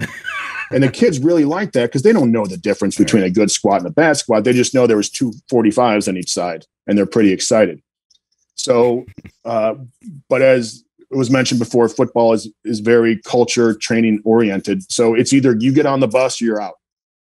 Uh, now, if the kid generally has like the, the severe ripped goals, uh, I it's almost easier to work with because at least you can talk to him in a because he's done some studying. So like, listen, we can still get you leaner, but we you don't have to drop 20 pounds. Let's just uh you know, chip, you know, if you want to get a little, that's fine. And I always tell the kids, I'd rather have a 200 pound pulling guard who is uh, incredibly quick, uh, can go forever than a 225 pound slow ass guy who will lean on you two different times the first two plays and he's out the rest of the game. I'd Mhm. rather have a bunch of fucking warriors out there who can go forever, who may not look the part as far as like weight wise. Um, and I think that's really done a good job because again, we don't have like my son's uh, Mason's team here in Texas. I had his old school. There was like uh, two um, freshman teams, and each team had like hundred kids on it. On the just the freshmen, like eighty to hundred kids on each team. The JV had two different teams, again seventy to eighty, and the varsity was just giant. So you have a lot of you can make a lot of mistakes because there's so many bodies. But here we don't we don't have that. So uh, sometimes our you know we've had guards you know five nine, you know two hundred pounds, you know if they're lucky. Uh, so uh, I, but again, I'd rather have a physically ass kicking motherfucker. Sorry about the language. than uh, a, just a slob who uh, on in the program looks really good. And ironically, when we do our program weights, everyone's like 40 pounds lighter and like two inches shorter. So then when they come see us play, you know, we have a kid who's like 6'4, 300 pounds. He's like two, 225. and uh, it's funny, we had during the warm ups, uh, we were playing a team and we just decimated this team. And uh, right before, uh, you know, during the pregame warm-ups, the coach yelled, "They're not as big as they look." It's like, no, they're they're as big as they look. Like, you can't fake that. That was always one of the greatest, just weirdest statements I've ever heard from a coach. They're not as big as they look. All right, so, but know, anyway, I'm curious about this because it's like within powerlifting, um, and, Yep. and it's still pretty popular to for people to be moving 85, 90, 95% loads too often, right? Um, Yeah. Like, uh, and it's funny, like I've worked with people before and they're like, this program's so easy. And then at the, like, I'm Oh. not fatigued. And then at the end, they're like, oh shit, why'd I hit a PR? I don't feel like I was training that hard. And it- Yeah. it's like, I, I see you doing that with these athletes. It- when an athlete gets more advanced, more and more advanced, is it can can they still train in that way? I mean, I I think so, right? Where they don't have to be killing themselves to continue to make progress, or do you feel that as you get more and more advanced, you get into the numbers like Mark and you moved? Well, what is there a difference? massive difference. And I'm going to tell you what: the higher you are, the lighter you can train. And uh, one of our kids, uh, he is a uh, superb wrestler. He's got like the Vietnam stare, and uh, you know he's one of the most vicious people I've ever seen play anything. He's the most quietest, unassuming person, but you know there's something fucked up in his head. Oh, I love him to death. Tremendous family. I've coached uh, his his brother, and my wife is now coaching his little brother, and uh, he finally really got it uh, recently. And uh, so we had to back his bench numbers down because he wasn't getting the reps that I needed him to have. And I, when I told him what it was, he looked at his paper and was like, "Holy shit!" I'm like, "Just trust me, because you can always go up if you feel good." But the problem is, the higher you are, and I'm going to use Andy Bolton as an example. The higher that you are, the harder it is to hold that peak. And I was lucky enough to see Andy Bolton pull the first thousand. I think it was a thousand three. Okay. And like three years later, I'm not sure when it was, maybe it was a year, but it was a while. He pulled a thousand eight. And I'll never forget someone said it took him that long to put five pounds on his deadlift. What's he doing? and I'm like, oh my God, you talk about no perspective. No perspective. So what ends up happening is, and I've noticed this uh, when I was uh, powerlifting, and even after I was powerlifting, I was still lifting pretty heavy. And some of my friends, uh, they pulled their best deadlifts with about a 68% training max. Whew. And then another one of my friends I worked with, who is my one of my longtime training partners, he squatted 700, and the heaviest he squatted on his program. Now he worked up occasionally was 385. Now that's extreme because now you're when you're the older you get, the more you can. And I mark this is the greatest thing you've ever come up with. Fuck the bench thing that you do. What's uh, as you said, sometimes you have to rely on meat magic, and that's I Sick. and it's funny because in it's very funny in powerlifting. My best squat ever in the gym was 825, and I barely got it, dude. It was horrid. Then I squatted a thousand, and I think that's something that some people have and some people don't. I think you can develop it, but when the when the chips are ready, you know, when the fucking whistle blows, you're ready to go. Uh, and so you tend to get that with more experienced athletes. They know when to turn it on uh, and stuff like that. You can't always be at level 10 when you're in the uh, gym. So, uh, what I've noticed is the, again, we talk about raising the floor. Um, he, and when you get to a certain point, especially when you're about an intermediate, you start to really realize, um, uh, how do I put this? That 80% or 90% as a uh, more experienced athlete takes a huge toll on you. And as an example is, let's say you uh, squatted a thousand, 80% is 800 pounds. That's not like an 80% of a 300 pound. Like Mark, you know, one half inch out of line Mm. or one weird step, that squat, you're going to be done. And I've even though it it represents percentage wise the same, it's just not the same. And ironically, the same kind of idea exists for younger athletes because uh, they may be able to bench 95 for 10 reps and you put 110 on there and you know the bar's tilting down somehow it ends up like horizontal you know and they start licking the bar or something and so the same idea is it allows them to perform the exercise correctly without uh, them you know with the risk of injury and uh, allows them to really dial in uh, to the actual set instead of worrying about the weight so much. They're just worried about you know keeping a good arch in their back and touching perfectly and pausing and stuff like that. So um, it's just it's it works for both lifters, but it works for very different reasons. You, So- you see it a lot with athletes. We see it a lot in the bodybuilding community and powerlifting. Um, people are they're in contest prep for bodybuilding show, and they look like they're going to die. Cheeks Yeah. all sunken in, or like can barely get up and down the stairs. They're a Yeah. useless human at that point.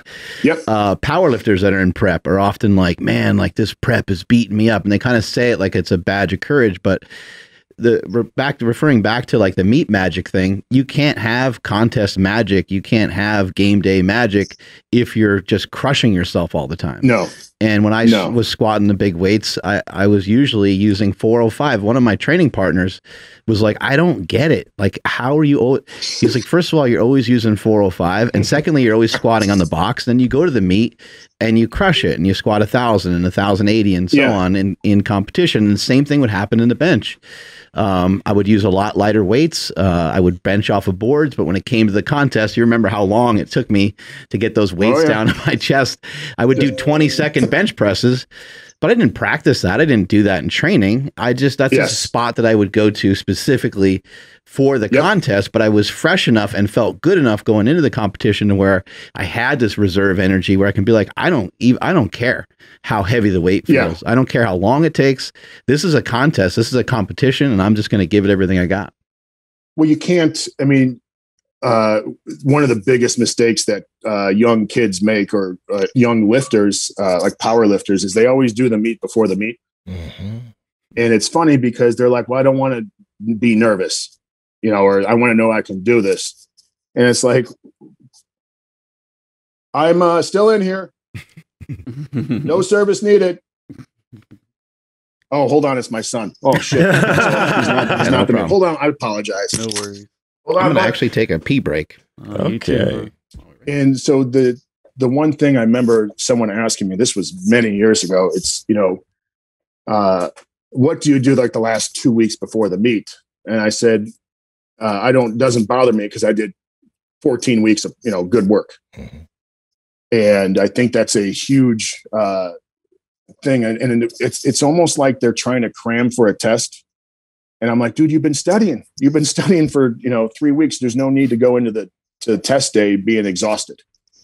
And uh, so that's where I think a lot of people start screwing up. They get a little nervous, like, and they always equate uh, more work with results instead of better work with results. And I think that's a huge uh, issue, especially with you know you're going to do your first meet or third meet or whatever it is. And once you kind of get experience, for the most part, uh, you've had enough fuck ups, and you're just like, listen, I, I can't do that anymore. And uh, but I am uh, again that just being consistently good day in and day out. And when we hear this message, you know, ad nauseum on just about every like special operator, you know, talking about cons- you know the SEAL team or the Rangers or stuff like that. Um, boy, that's another big beef of mine. Everyone thinks they're a Navy SEAL, you know. Oh. Every every coach wants to and i always i tell them like i remember uh we had uh not us but we had another someone who's peripheral to the program uh they brought in like a navy seal for uh, a week or something you know and they did all this stupid stuff and it's great but the thing i remind them i'm like you know after hell week everyone's hurt and tired like they don't even like it and you know i think uh for you know it's usually like a two year process. They're doing a lot of other stuff too. It's not one week. And first of all most of those guys quit. Like it's 80% like you don't need that. And the other thing i always tell people too is when those guys do that they're already in tremendous shape. That's not how you get in great shape. And it's like uh, i always say it's you know you don't need to use a sledgehammer to open the walnut Mm. and uh, so but the, that i always love when uh, that. you know, it is all the great lessons you can learn from some of these guys like Jocko and David Goggins. You have to understand that they're already at that. They're already in doing all that stuff, you know, before, and they hated that anyway. Like it didn't do them any good. It didn't make them better. It's just a weeding out process, and you can't have that in athletes, especially young athletes. You have to, uh, and I do this all the time. Uh, you have to bring them in with success. And so, for example, any day that the kids, like we always have like a, you know, this is what we're going to do today. And then as, as I walk up the stairs to the weight room, if it's loud and the kids are wrestling, there's always kids wrestling. you know, it's like a big circle. It's a big crazy fest. If I, if I see that, then I know we're good to go. We're Yeah. good to train.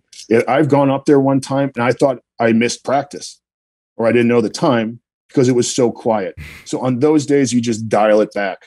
And, uh, but uh and so every day i try to set the kids up for some kind of success even if it's like all right we're just going to do our main lift and then we're going to do a push-up do 100 push-ups everyone's doing 100 to 200 push-ups and they can do that but now they've accomplished the goal and so you i try and it doesn't always work you try to put the kids in a in a situation where they come out of the weight room feeling like they've accomplished something and they were successful. I don't want them beaten down. Now that may that may work uh, 40 years ago or 50 years ago. That may work with some individuals but as a whole with high school kids you have to charm them with their own success even if it's like made up. Hmm. you know i have no idea you know it's uh I have no problems telling some white lies occasionally to a kid, you know, if that's going to result in a better attitude. That doesn't mean I'm not, I don't have high expectations and the kids expect it. But if a kid's really down, you know, something happened, you have to like, dude, I, that was the best rep I've ever seen you do. And as long as it's like mostly true, I'm okay. Like you have to get the kids uh, to a point where they're, they want to be where they are and they feel successful. I know John just- John Wooden used to teach uh, kids to you know tie, or not kids the college players that he had uh, how to tie their shoes. You know they had specific haircuts that they had to have, Yeah. and a lot of people thought that was to be in uniform, and some of it was to be uniform. Some of it was to go through stuff as a team. Uh, but when they were done tying their shoes correctly, and then and they uh, did all the things right before practice, just to get to practice, he would commend them on that. And that was that Yeah. was like something that he was Like- like, "Hey, you all got here. You all got your shoes tied on right. You all look correct. Everyone looks like a team. Now we're ready to go." something. yeah you accomplished something you did you did what you're supposed to do and we all did it as a team we all had to go through it and he's like uh, i guess pumping them up from the uh, success that they've had just Yeah. from doing that little tiny task and it's that is a man that's awesome i love that i'd never heard that story and it's funny because i talking to mason two days ago about how awesome john wooden was. And i don't think people realize uh, i think he won like seven national championships or eight in a row or something. Just think 11. And, i think 11 no he did. He run he won 10 total in oh right years, right right. Right but he had a streak that was just insane. Um, and uh, well that's tremendous. And it's like it's you know if you wake, wake up every morning you make your bed. Like at least i did that. Mm. and uh, one of the things that i did get from uh, a joe rogan podcast from Andy Stumpf is he another navy seal who went through hell week and all we, he calls it keep your world small Mhm. and i i been doing this for uh, since i've been in uh, college i always say just win the next battle you don't have to worry about the war so the next battle might be to take a shower uh, and get dressed and make your bed. The next, ba- you know, make sure you have a good breakfast. So every day there's like a little battle, and magically, if you win all those battles, the war takes care of itself. And in terms of like uh, training, it's just let's worry about we're doing our mobility. We're just do the best you can on your stretching and your movements. On this, we're squatting. Make sure this next rep is fucking perfect. Just worry about that. Don't look too far in the future. And uh, it's like in a football game, it's like this next play is your battle. Just win this battle. And if everyone attempts to win each battle on each play, magically the score takes care of themse- itself. And the good thing is, even if you lose, you're like, dude, they were just better. That's all there is.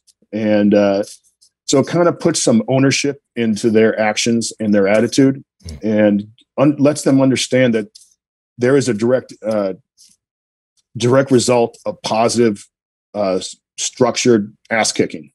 It's not, you know, and one of the things I always say is, uh, you know, when you box, you keep your chin down. As soon as you start looking up and looking towards the goal, that's when you get clocked. That's when you get the sniper, you know, putting one between your eyes. Keep your head low, take one step forward, little step forward, little step forward. And uh, magically, uh, the result will take care of itself. And more times than not, if you keep going and never pick up your head, you'll end up farther and farther and farther than you ever thought possible.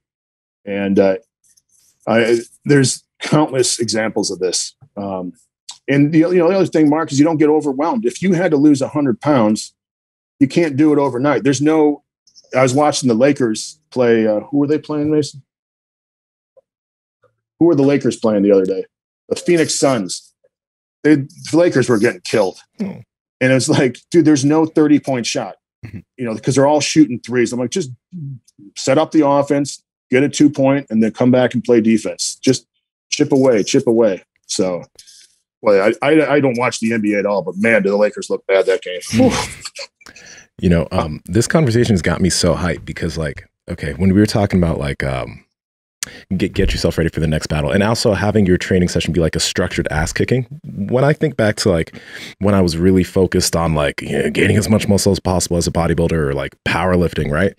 I'd like watch powerlifting motivation videos and Yeah. every single training session would be a battle because I'd be moving weights that were too heavy, right? This is when I started Yep. doing stupid shit because I was like, let me add some Yeah. shits at 531. Let me add Yeah. some volume. Okay.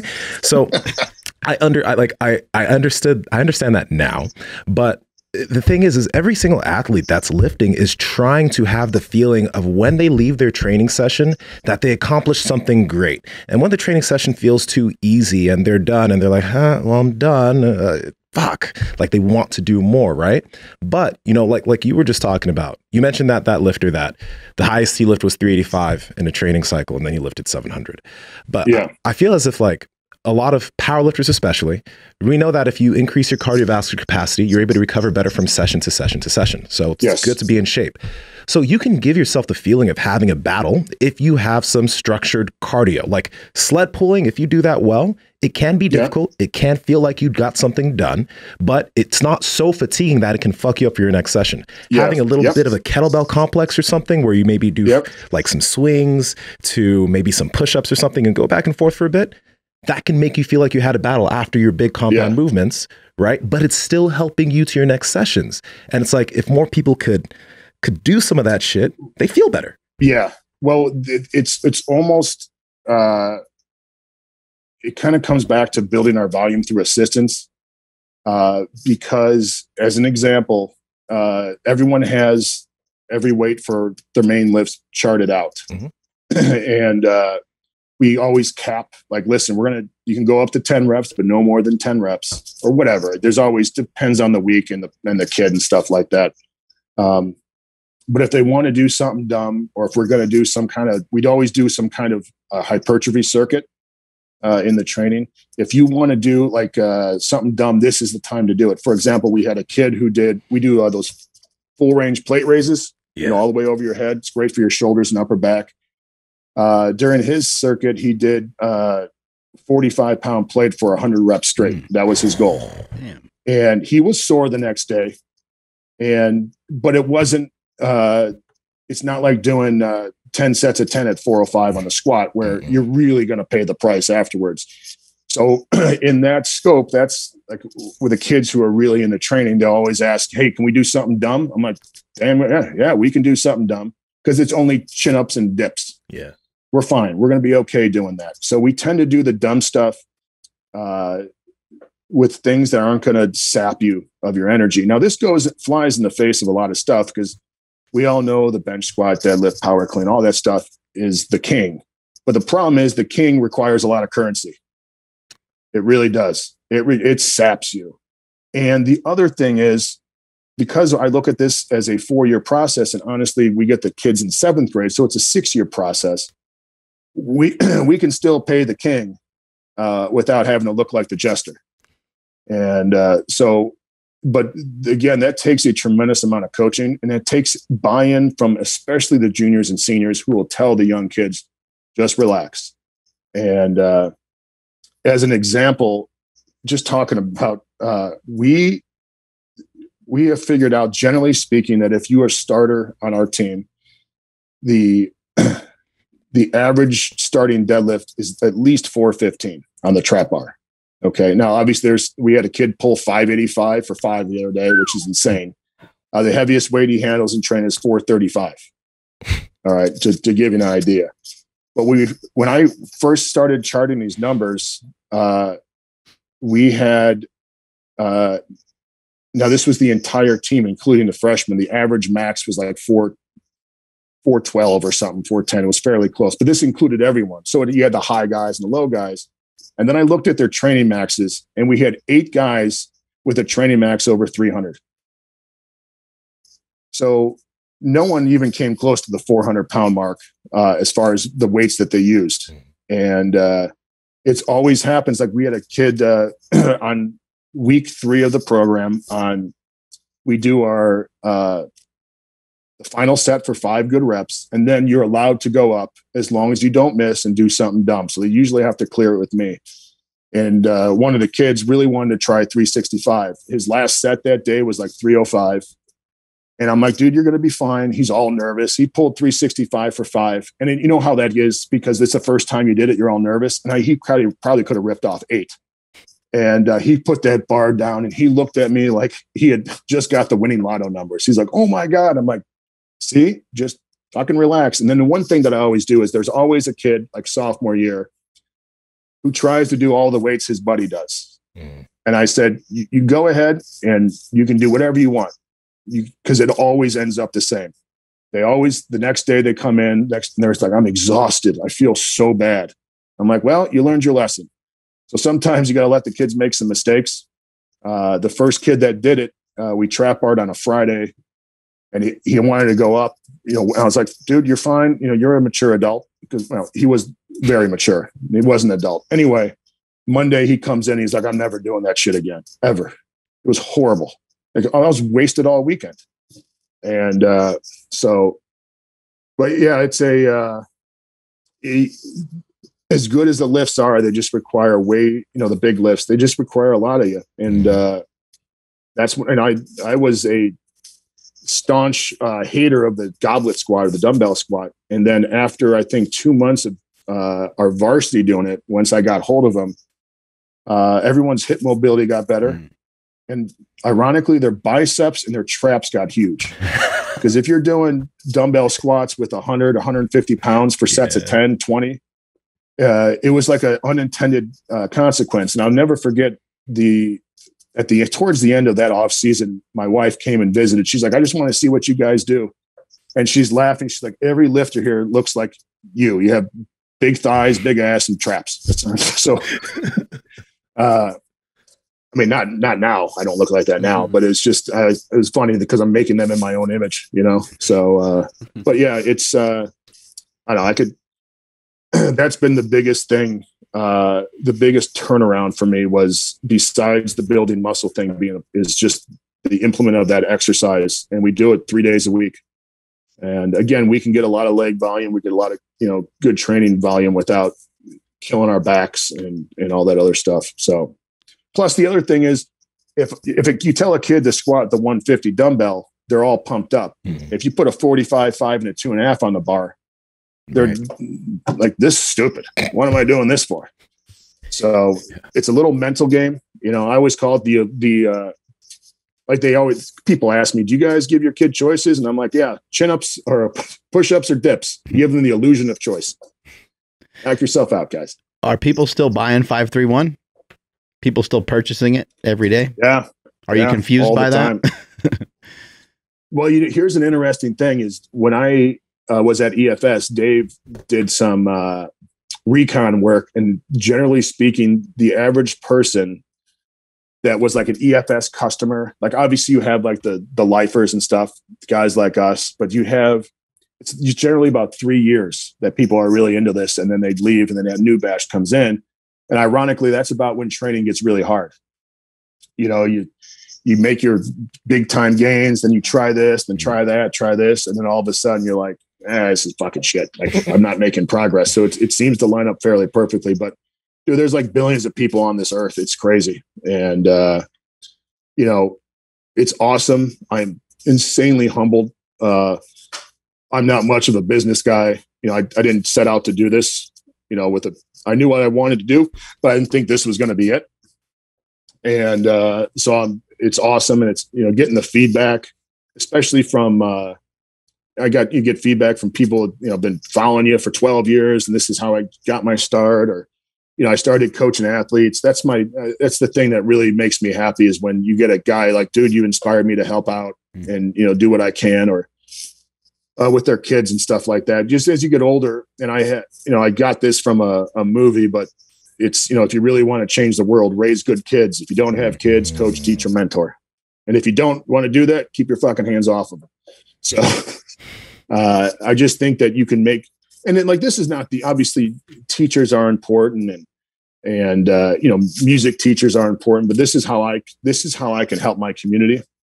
Uh, because this is all volunteer work from myself and my wife. And I feel like I'm, I always tell this story when I got asked to help out, I was very hesitant because I'm like, well, that's my free time. Because all I, you know, my, I take my free time seriously. And I remember I sat down and I was like, man, if I don't do this, then who am I to say uh, that everyone should be helping people? Because I know I have a chance to do this and I'm just a fucking liar. Mm. And my mom, for decades, fed the homeless at the church. Wow. And ironically, her cooking partner and it was a Jewish guy. He's like, "Well, I don't care. I'm here to help." You know, it didn't matter. And that was my mom loves to cook. She loves doing stuff like that, and that's how my mom helped the community. Mm. And I, I was, you know, I was thinking, well, I don't want to cook. Like, I don't even know what I'm doing. I can cook a steak, and I don't think that's going to fly. It's a lot of cash for ribeyes, and uh, so this is something that I could do, and something I, I'm very passionate about. And I, you know, it's funny because I'm in the DFW area right now, and there, it's I don't know if you guys have been here, but there's so many people here. And I'm always amazed. It's hard to get people to help. Mm. And there's like, dude, you have like 10 million people in this area. You're telling me like you can't, there's not someone who can do this, or it doesn't have to be all time consuming, but you can really give back and help people.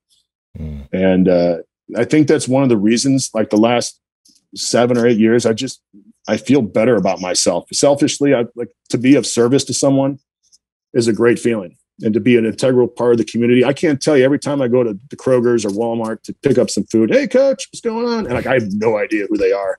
My memory's busted anyway. So I'm like, hey, you know, it, it's great, man. The people are terrific. So What were you setting out to do with 531? I don't, I, I knew, uh, I had some friend like Zach Even-Esh, one of my good friends, and Jim Smith from the Diesel crew. They had written some books and I had all these ideas and articles and stuff. And they're like, dude, just do it. And I was, my first thing I was like, no one's going to buy it, you know? And, you know, what do I know? That was the thing. What do I know? And then you realize that, yeah, Boyd Epley's better than me, but there's 10 million people who aren't. Yeah. And uh, one of the things, and I, Mark, you know this very well. It's when you're when I, back then in EFS, like it was huge. I don't think people understand the the kind of influence you had. And honestly, like I was like, I think I can do this. Like I, it wasn't an egotistical thing because I was always kind of you know not scared, but tentative would be the bet the better word. And uh, I felt like this could work because I had done this for about two years. I've worked with people uh, at the gym, and you know, I made a lot of mistakes. Holy shit, did I make mistakes with that? And once we kind of got some of the stuff figured out, I was like, you know, I think this would help people because I, I remember writing about it, you know, different areas, and it got so confusing because people didn't have like a one source kind of place. And uh, you know what? It's good to have a couple bucks laying around. I'm not all about the money, but uh, it's nice to be a little bit financially independent. And uh, when I was 19, when I was in my very first apartment in Arizona, I wrote down a list of things I wanted to do with my life. I'll never forget this. And that I was full of anxiety. I didn't have like heart palpitations, but I didn't wanted to do something with my life. I didn't want to just kind of mail it in. And I didn't know exactly where I was going to go, but I wrote down uh, work from home, do something training related, and do something writing related. That's what that were my three goals because I didn't want to have to go to the office nine to five and just kind of, I don't know, just be a you know a cog in a machine. I think that's great for a lot of people. I mean, we need those people, and I think they're they're fulfilled. A lot of people are, but a lot of people aren't. And uh, we talk about taking one step forward. I didn't know how I was going to get there. All I know is if I did well in school, I kept training and kept learning and kept writing, something would pop up at some. And that's how I met Dave. When I first met Dave Tate, uh, we talked and talked, and he's like, hey, "What'd you study in college?" And I was like, "English." He's like, "Can you write?" I'm like, "Yeah." He's like, "You want to write some articles?" And I had already written like 30 articles before this even happened. I knew I'm like, I just you know working on my skill. I'm like, maybe when something pops up, I'll be ready. And fair, you know, it's the old saying is, you know, when the the student ready, the student is ready, the teacher will appear. And uh, you have to make the most of your opportunities when you get them. If I let that slip, who knows where I'd be today. Mm. So, anyway, there you go. That, I don't know. Like, I, I just wanted to help. Like, I love, Mark, how much free shit have you done? Yeah. It's unbelievable. Yeah. Tons. Most of my life is free stuff. Yeah. The, the job that you have now is you do it for free, right? The coaching. Yeah. Yep. So, you know, it's, uh, and you get a lot more than you, than you, uh, than you put in. And that's the honest to God truth. So, doesn't always seem like that. It gets very frustrating. I can't tell you how many times I walked home or drove home like, God, there's no one worse at this job than me. I am the worst. like, you're better off having a fucking gorilla coach. and uh, so, but yeah, it's it's been good. So, if anyone out there is can uh, help out or do something with even training wise, it's probably better than what they have right now. Mm. You don't have to be the best. You just have to be. You have to care. Oh yeah, you, you go, go. to a kid's uh, baseball game, football game, and the parents complain about the coach. It's like you, Well, then do something Yeah, about you it. can You have no right. you can go assist. You can't complain unless you have an answer. That's what I say. If you don't have an answer, shut your fucking mouth. yeah, go help You out. know? They're not going to deny Yeah. you uh, of helping. No. they're going to be like, "Fuck, we got another person helping. This is awesome."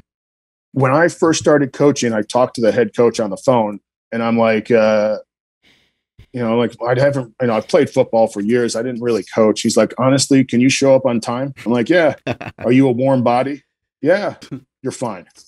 That's how desperate we were for people. There's Wow. three coaches there, and now we, the amount of uh, resumes and offers uh, that for coaches to come in are overwhelming. Everyone, you know, so it's been a great it's been awesome to build something too because the hardest thing about building something is you got to get people to believe that didn't prior believe now we have all these younger kids come in there uh, there's an expectation of winning which is great but before there wasn't that expectation and there wasn't the high standards that we now have so we had to get those kids who didn't really have that prior to believe in it. And that's why that senior class, my first senior class, I give them a ton of credit because they had no reason to trust me, none.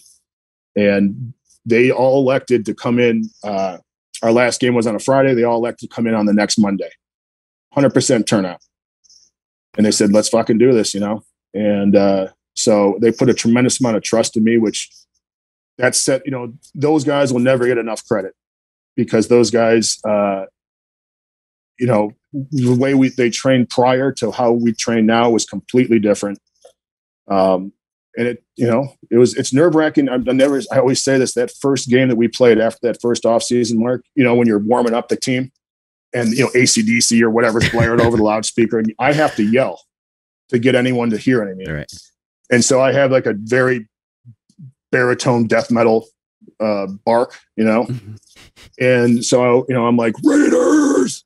And I, it must have been six times I almost puked all over myself because I was so nervous because these kids had invested so much in, in what I, you know, what we did and they believed in me. I'm like, man, if we fucking drop an egg on this game, everything we'll do is just for naught. And then we end up winning like 600 to two, you know, Jeez. just insane. So, Um, do you think that we uh, people that worked at the people that worked at Elite FTS? Do you think that many of us learned to give away free shit uh, because of maybe indirectly through Louie Simmons, who we saw give a lot of time, a lot Holy of tons cow. of free time. I mean, he'd take you to breakfast. He would he would even be like uh, you know paying for breakfast and paying for lunch and all these things. And then Dave with Elite, uh, tons of free information. I mean, that's why people were going to that website. They weren't necessarily, especially in the beginning, I think Ask Dave, I think was fake. I think his wife made up some questions and they kind of played Yeah. off from there. And uh, do you think we kind of maybe indirectly learned some of this from from Louie and then from doubt, Dave? Mark, Yeah. it's, you know, Lou, I'm, I'm sure at some point Louie had someone too. You're right. uh, that paid it forward. But in our world, it was Louie and then Dave, and then the the tree just branches out. You know, you have two guys at the top of the stem there, uh, and then it just branches out. And um, I think you. The one thing is when I first started at answering questions at Elite, it was the first. I did a meet, my first meet, and I did very well. And uh, I remember uh, that was Dave's uh, IPA national meet, and uh, I had already known Dave for a little bit, and I did some stuff for him here and there, and then he uh, he's like, "Dude, you want to be part of the Q and A?" And I was like, "What? Me? I know I can't."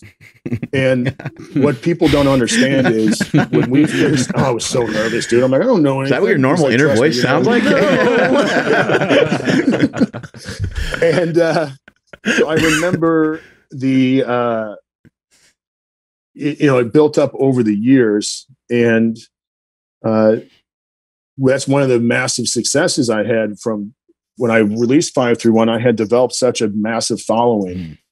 And it was not done with anything in mind. It was just this is what you did. If you when you're at EFS or you're part of the West Side crew, you help people Mm. you help and it's just it was just expected and, and encouraged and it never dawned on me that it would be anything other than what it was and i think it happened when things happen organically they happen for the right re- like the right reasons there's there was never Uh, and Dave always makes fun of me because I'm the worst business sales guy in the world. He's like, if anyone had no agenda, it was you, because I never, I just thought it was the right thing to do. And you know, I'm not saying I'm a, a saint because God knows I've screwed up my parts of my life horribly and made some bad decisions. But um, that was one area I think, uh, and I I don't really do social media. I don't follow it, but I assume there's still guys that do a lot of stuff for free and help out because you talk about. Uh, I mean, I still get tons of questions and stuff like that. Uh, but I don't look at social media really. It just, I don't know, doesn't really interest, interest me. Um, but hopefully what we help build is now branching out even farther. And with social media, you can really, you know, do some stuff. And, you know, there's always a few turds out there. Uh, I remember one time seeing someone had made some kind of comment about something. It had nothing to do with me, but it had to do with training and someone responded, I've been doing this for 18 months. and then I do the math in my head, Mark. like, I started when I was 13. That means uh, training knowledge wise, you're 14 and a half. And I'm like, God, I was horrible when I was 14 and a half. Like, right. I wouldn't trust anything I would from from me when I was that age. and uh, like so, but yeah, my, that's a great way of putting it because I'm hoping that the branches get wider and wider and wider because it was awesome. And we weren't on the ground floor, so to speak, but we were very close, you know, very close. So it's nice. And it's, you know, I think a lot of it may get forgotten. Uh, I think, you know, I remember someone asked me one time, why do you sell your books? You do nothing for free. And I was like, God damn, dude. You know how many questions I answered for like this is Dave and I, we, it was something like uh 1500 questions a month. Mm, damn. For like, you know, something like five years. And then, you know, another five years of like 500 or something like that. So, you know, it's like, man, you guys forget how this works, huh? like, pardon me. So Oh, any Those idea? Those people what, are few and far between, though. any What's idea? Up? Any idea what gave Dave the idea to do that site that way? I, I don't remember anything else being like that at the time because Yeah, well, halfway okay, like a I'll forum, but not really a forum. I'll tell you how it started. There was a guy named Jason Burnell. He had a website called Deep Squatter. deepsquatter.com. yeah, he lives out here in And- California. Yeah, yeah, he's a great guy. And I've always credited uh, Jason for really launching the EFS Q&A because he would put up all of Louie's articles. Louie would send him the articles. And then he had stuff like Ed Coan's program or, you know, this, the, this type, you know, whatever, basic interviews and stuff like that. It was a very basic page, just like one giant yeah. Opening page, just click on links. That's all there was. It was really cool. And on there, he had uh, Ask Dave. And so it was Dave Tate. So people would send questions into Jason. There was an email address, and then he would send them to J- Dave. Dave would, you know, put them on a, you know, email and then send them back. And they were updated maybe whenever Dave had the time. So maybe once or, I don't know, probably two or three times a month or something. I remember like waiting and waiting and waiting. One of his greatest answers he gave is someone asked, uh, how do you get faster at speed bench? And Dave just said, push harder. I love that. Love that thing. And so I think that I, I know Dave had some ideas about uh, selling some stuff and doing that, but I think the Q and A really rose from that because it was massively popular. And you know, people don't understand when Dave first started. I think it was just him, and then he brought in like Bob Youngs and Danny Blankenship and Martin Rooney Mhm. uh, from the Parisi, the speed school and stuff, who trains uh, athletes and fighters and stuff like that. And I think I was like the uh, the next guy out of that group. So um, it's it's it was really awesome to be part of. And I remember when I did my you know it's called Elite Fitness Systems. It, it's not it wasn't Elite FTS that back then. And his big thing was you know it's elite lifters teaching you. And I didn't reach my elite in my first meet. I le- reached it in my second meet. Mhm. And I remember Dave like I'm a fraud, dude. I was like 30 pounds off, you know. And uh, he's like, "You're fine. You're gonna. You're all right. You know. Don't worry about it." So, but I think that's. I think the the Burnell thing, and I think Louie sold some equipment back then. I remember he you know, sold obviously the reverse hyper and Mhm. like a couple other things, but Dave really saw a market for that. And you know, there's another. I just did a podcast with Dave and Vincent and Matt Rhodes, and I mentioned like Dave. I mean, they're in a brand new building. That you know they Mm. it's they built it from the ground up, and I, I was never in there. I was always in like the dirty, dusty closets that, uh, and that's how it started. I'm like, man, look at what you built. I mean, this is insane. You know, just the weight room itself. I mean, it's like uh, Yeah. we literally trained in the place where we answered phones. There was a Monolift there and a squat, you know, bench bench rack. So you, you know, you do a couple sets, answer a phone. Uh, so it's just uh, it's it's really crazy. So and then obviously, you know, the success that Louie had has been astronomical. Mm. And uh so I haven't spoken to Lou in quite a while. Occasionally, like I'd see him out at a restaurant or something, but I haven't spoken to him. But you know, he's still still a stubborn, smart man. Right. So Man. Dan. Dude, once again, uh, thank you because I've, I've not only have I learned a lot from this conversation, um, but like Yes. I said, that that five three was the first program I started with, and I learned so much from that program. So yeah, thank you, man. It's it's Again, awesome to hear. Uh, and you know, people always. I don't care what people do training wise. I just if I'm somewhat part of that in any way, shape, or form, uh, it's awesome to know because someone did that for me, and someone did that for them, and uh, you know, it's Mark. Can you imagine knowing that you were made a lifetime out of a fucking thing that cheats you on your bench? Right. I mean, think about that. I mean, it's it's nuts it's wild. and yeah. you know yeah and so it's just really cool to uh to see the success that we've had and other people have had i just i don't i don't take it for granted you know so but thank you guys i appreciate it Yeah. what uh you have any books uh, that are like more recent? Uh, obviously you've Uh, written I some stuff after 531, right? yeah there's uh there's a uh shit. Beyond five through or five beyond five three one Mhm. and we i just uh added a ton of more stuff and i wrote five three one forever which is a giant manual. It's huge. It's got every workout thing that i've ever tried and explanations about everything how to program your training for long term how to program the conditioning all that stuff how to do active recovery. It's a massive book.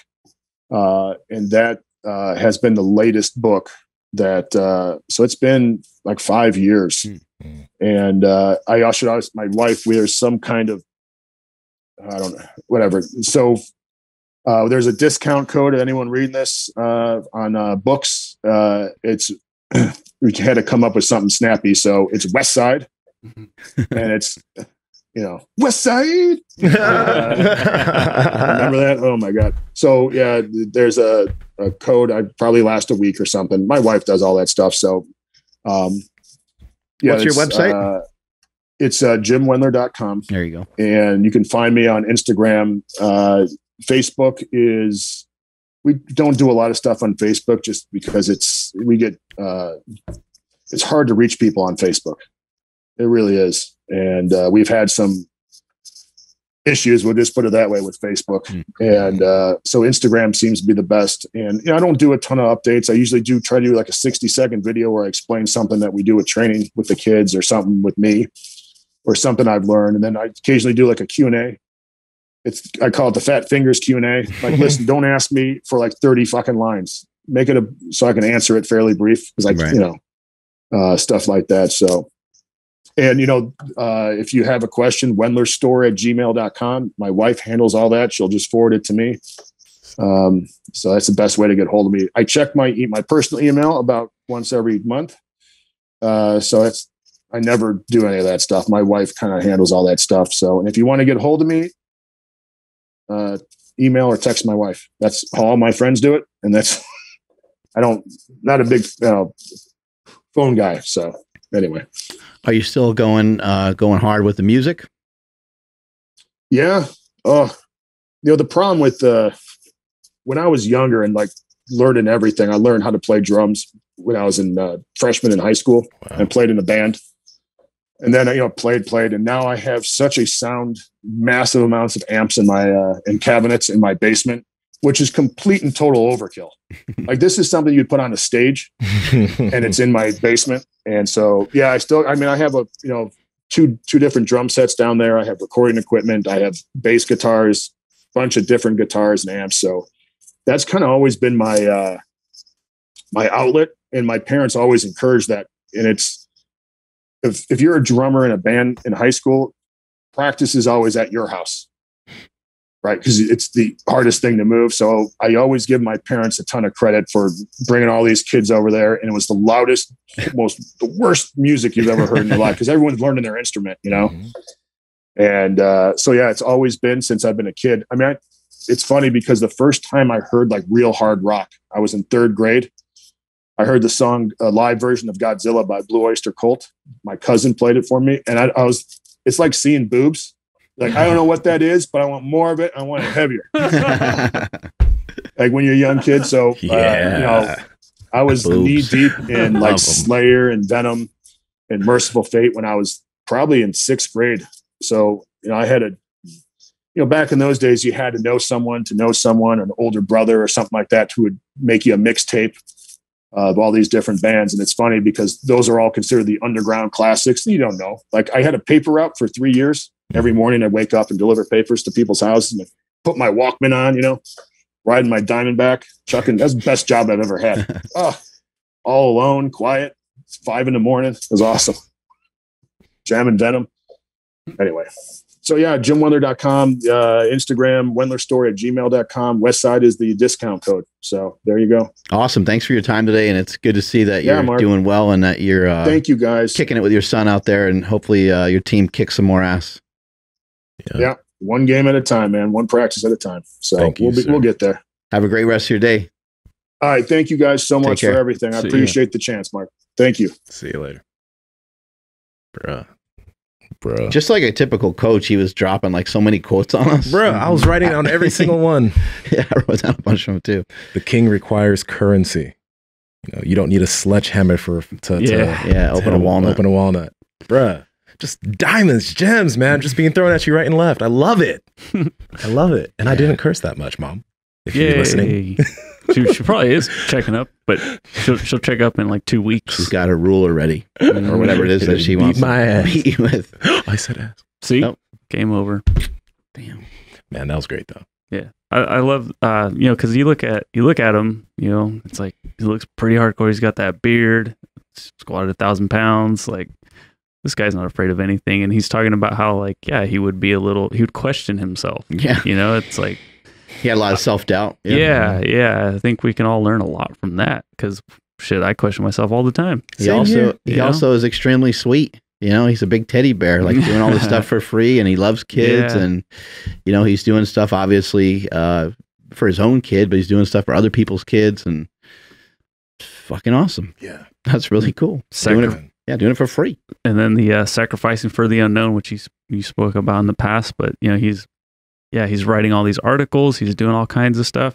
He's like, at some point, this is going to pay off. But he had yeah. no fucking clue. yeah. And then you know uh, the student will find the teacher when he's ready. Another awesome quote. hmm fucking gold.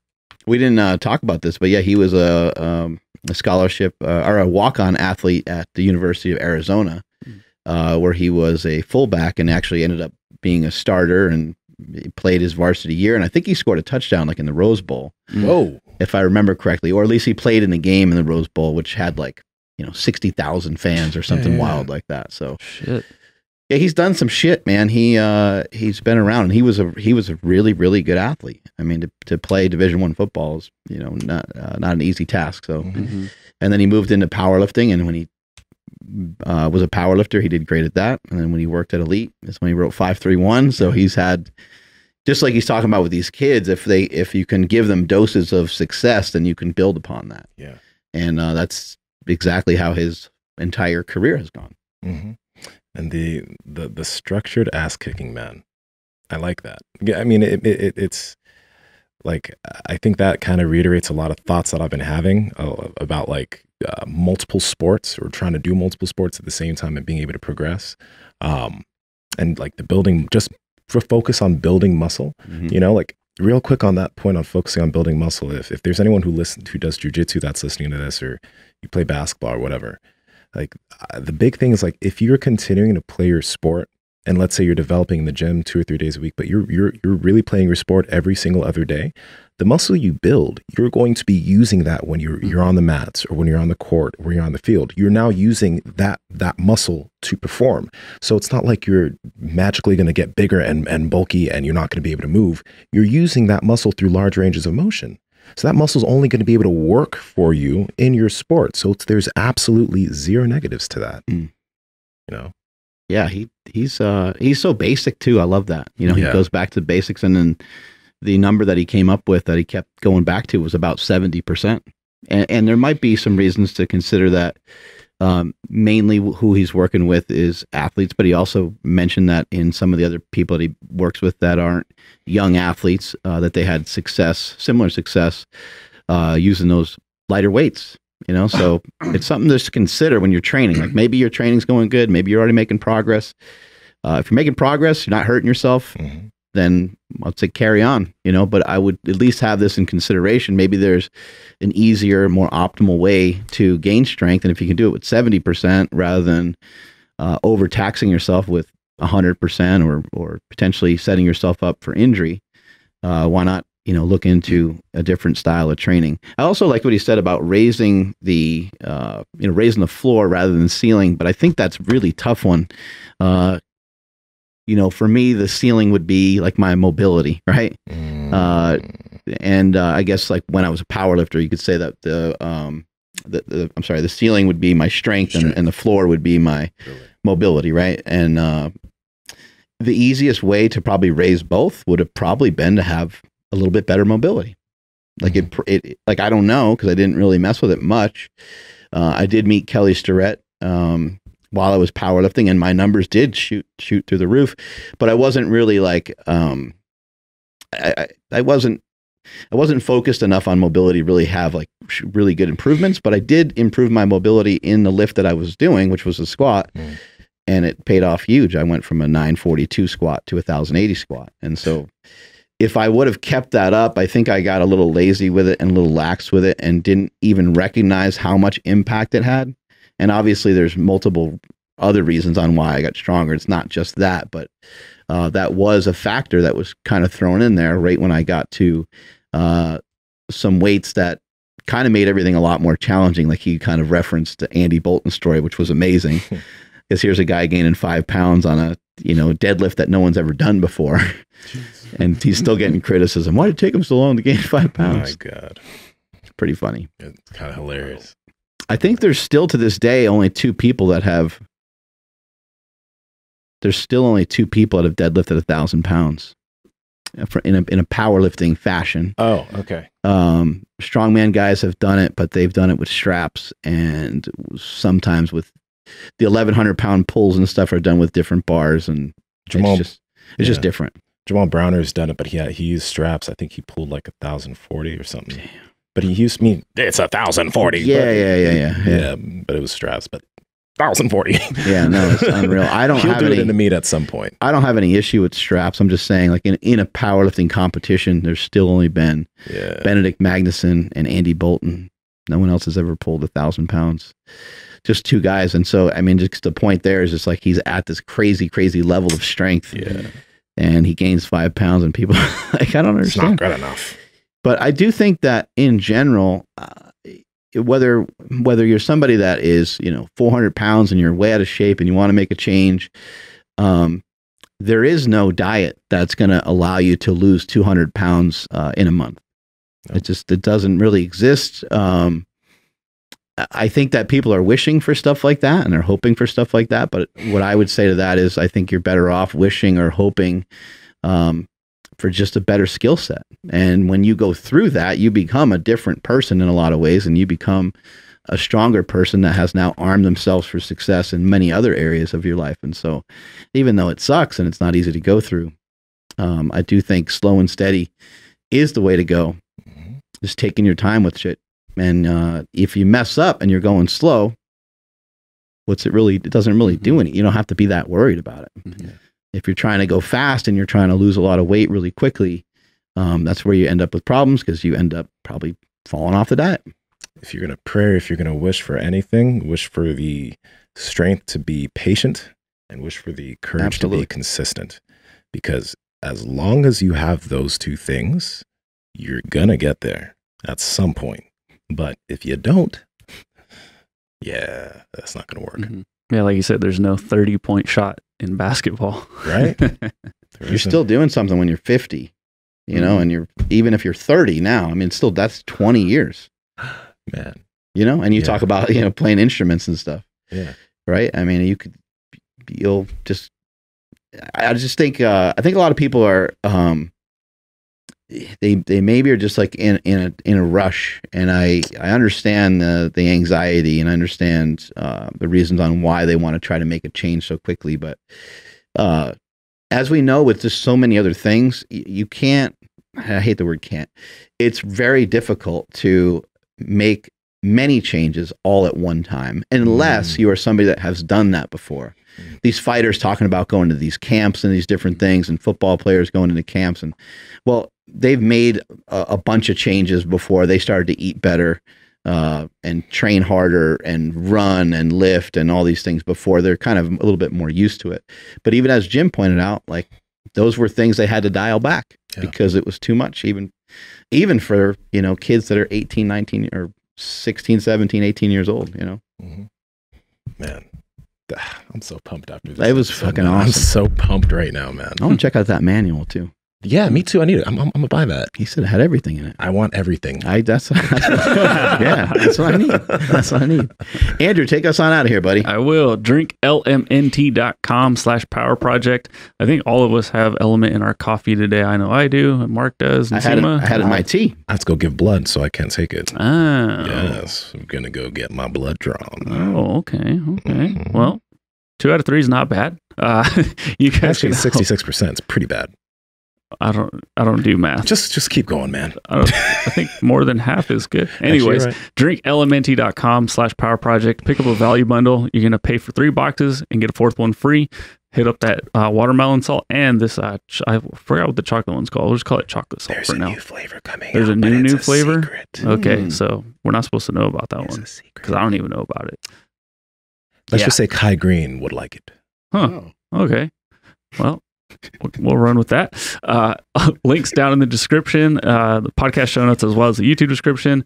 Please follow the podcast at Mark Bell's Power Project on Instagram, at MB Power Project on TikTok and Twitter. My Instagram and Twitter is at I am Andrew Z. On TikTok, at the Andrew Z. And Seema, where you at? Why am I such a kid, man? I don't know. Nsima Inyang on Instagram and YouTube. At Nsima Inyang on TikTok and Twitter. Mark. i'm at mark smelly bell and make sure you check out my twitter i mean my tiktok see how old i am i'm getting all those things confused um I've been posting a lot of shit up there, and we had some success with a 1.1 million views on the sound effects. Yeah. So go check it out. Strength is never weakness, weakness is never strength. Catch you guys later.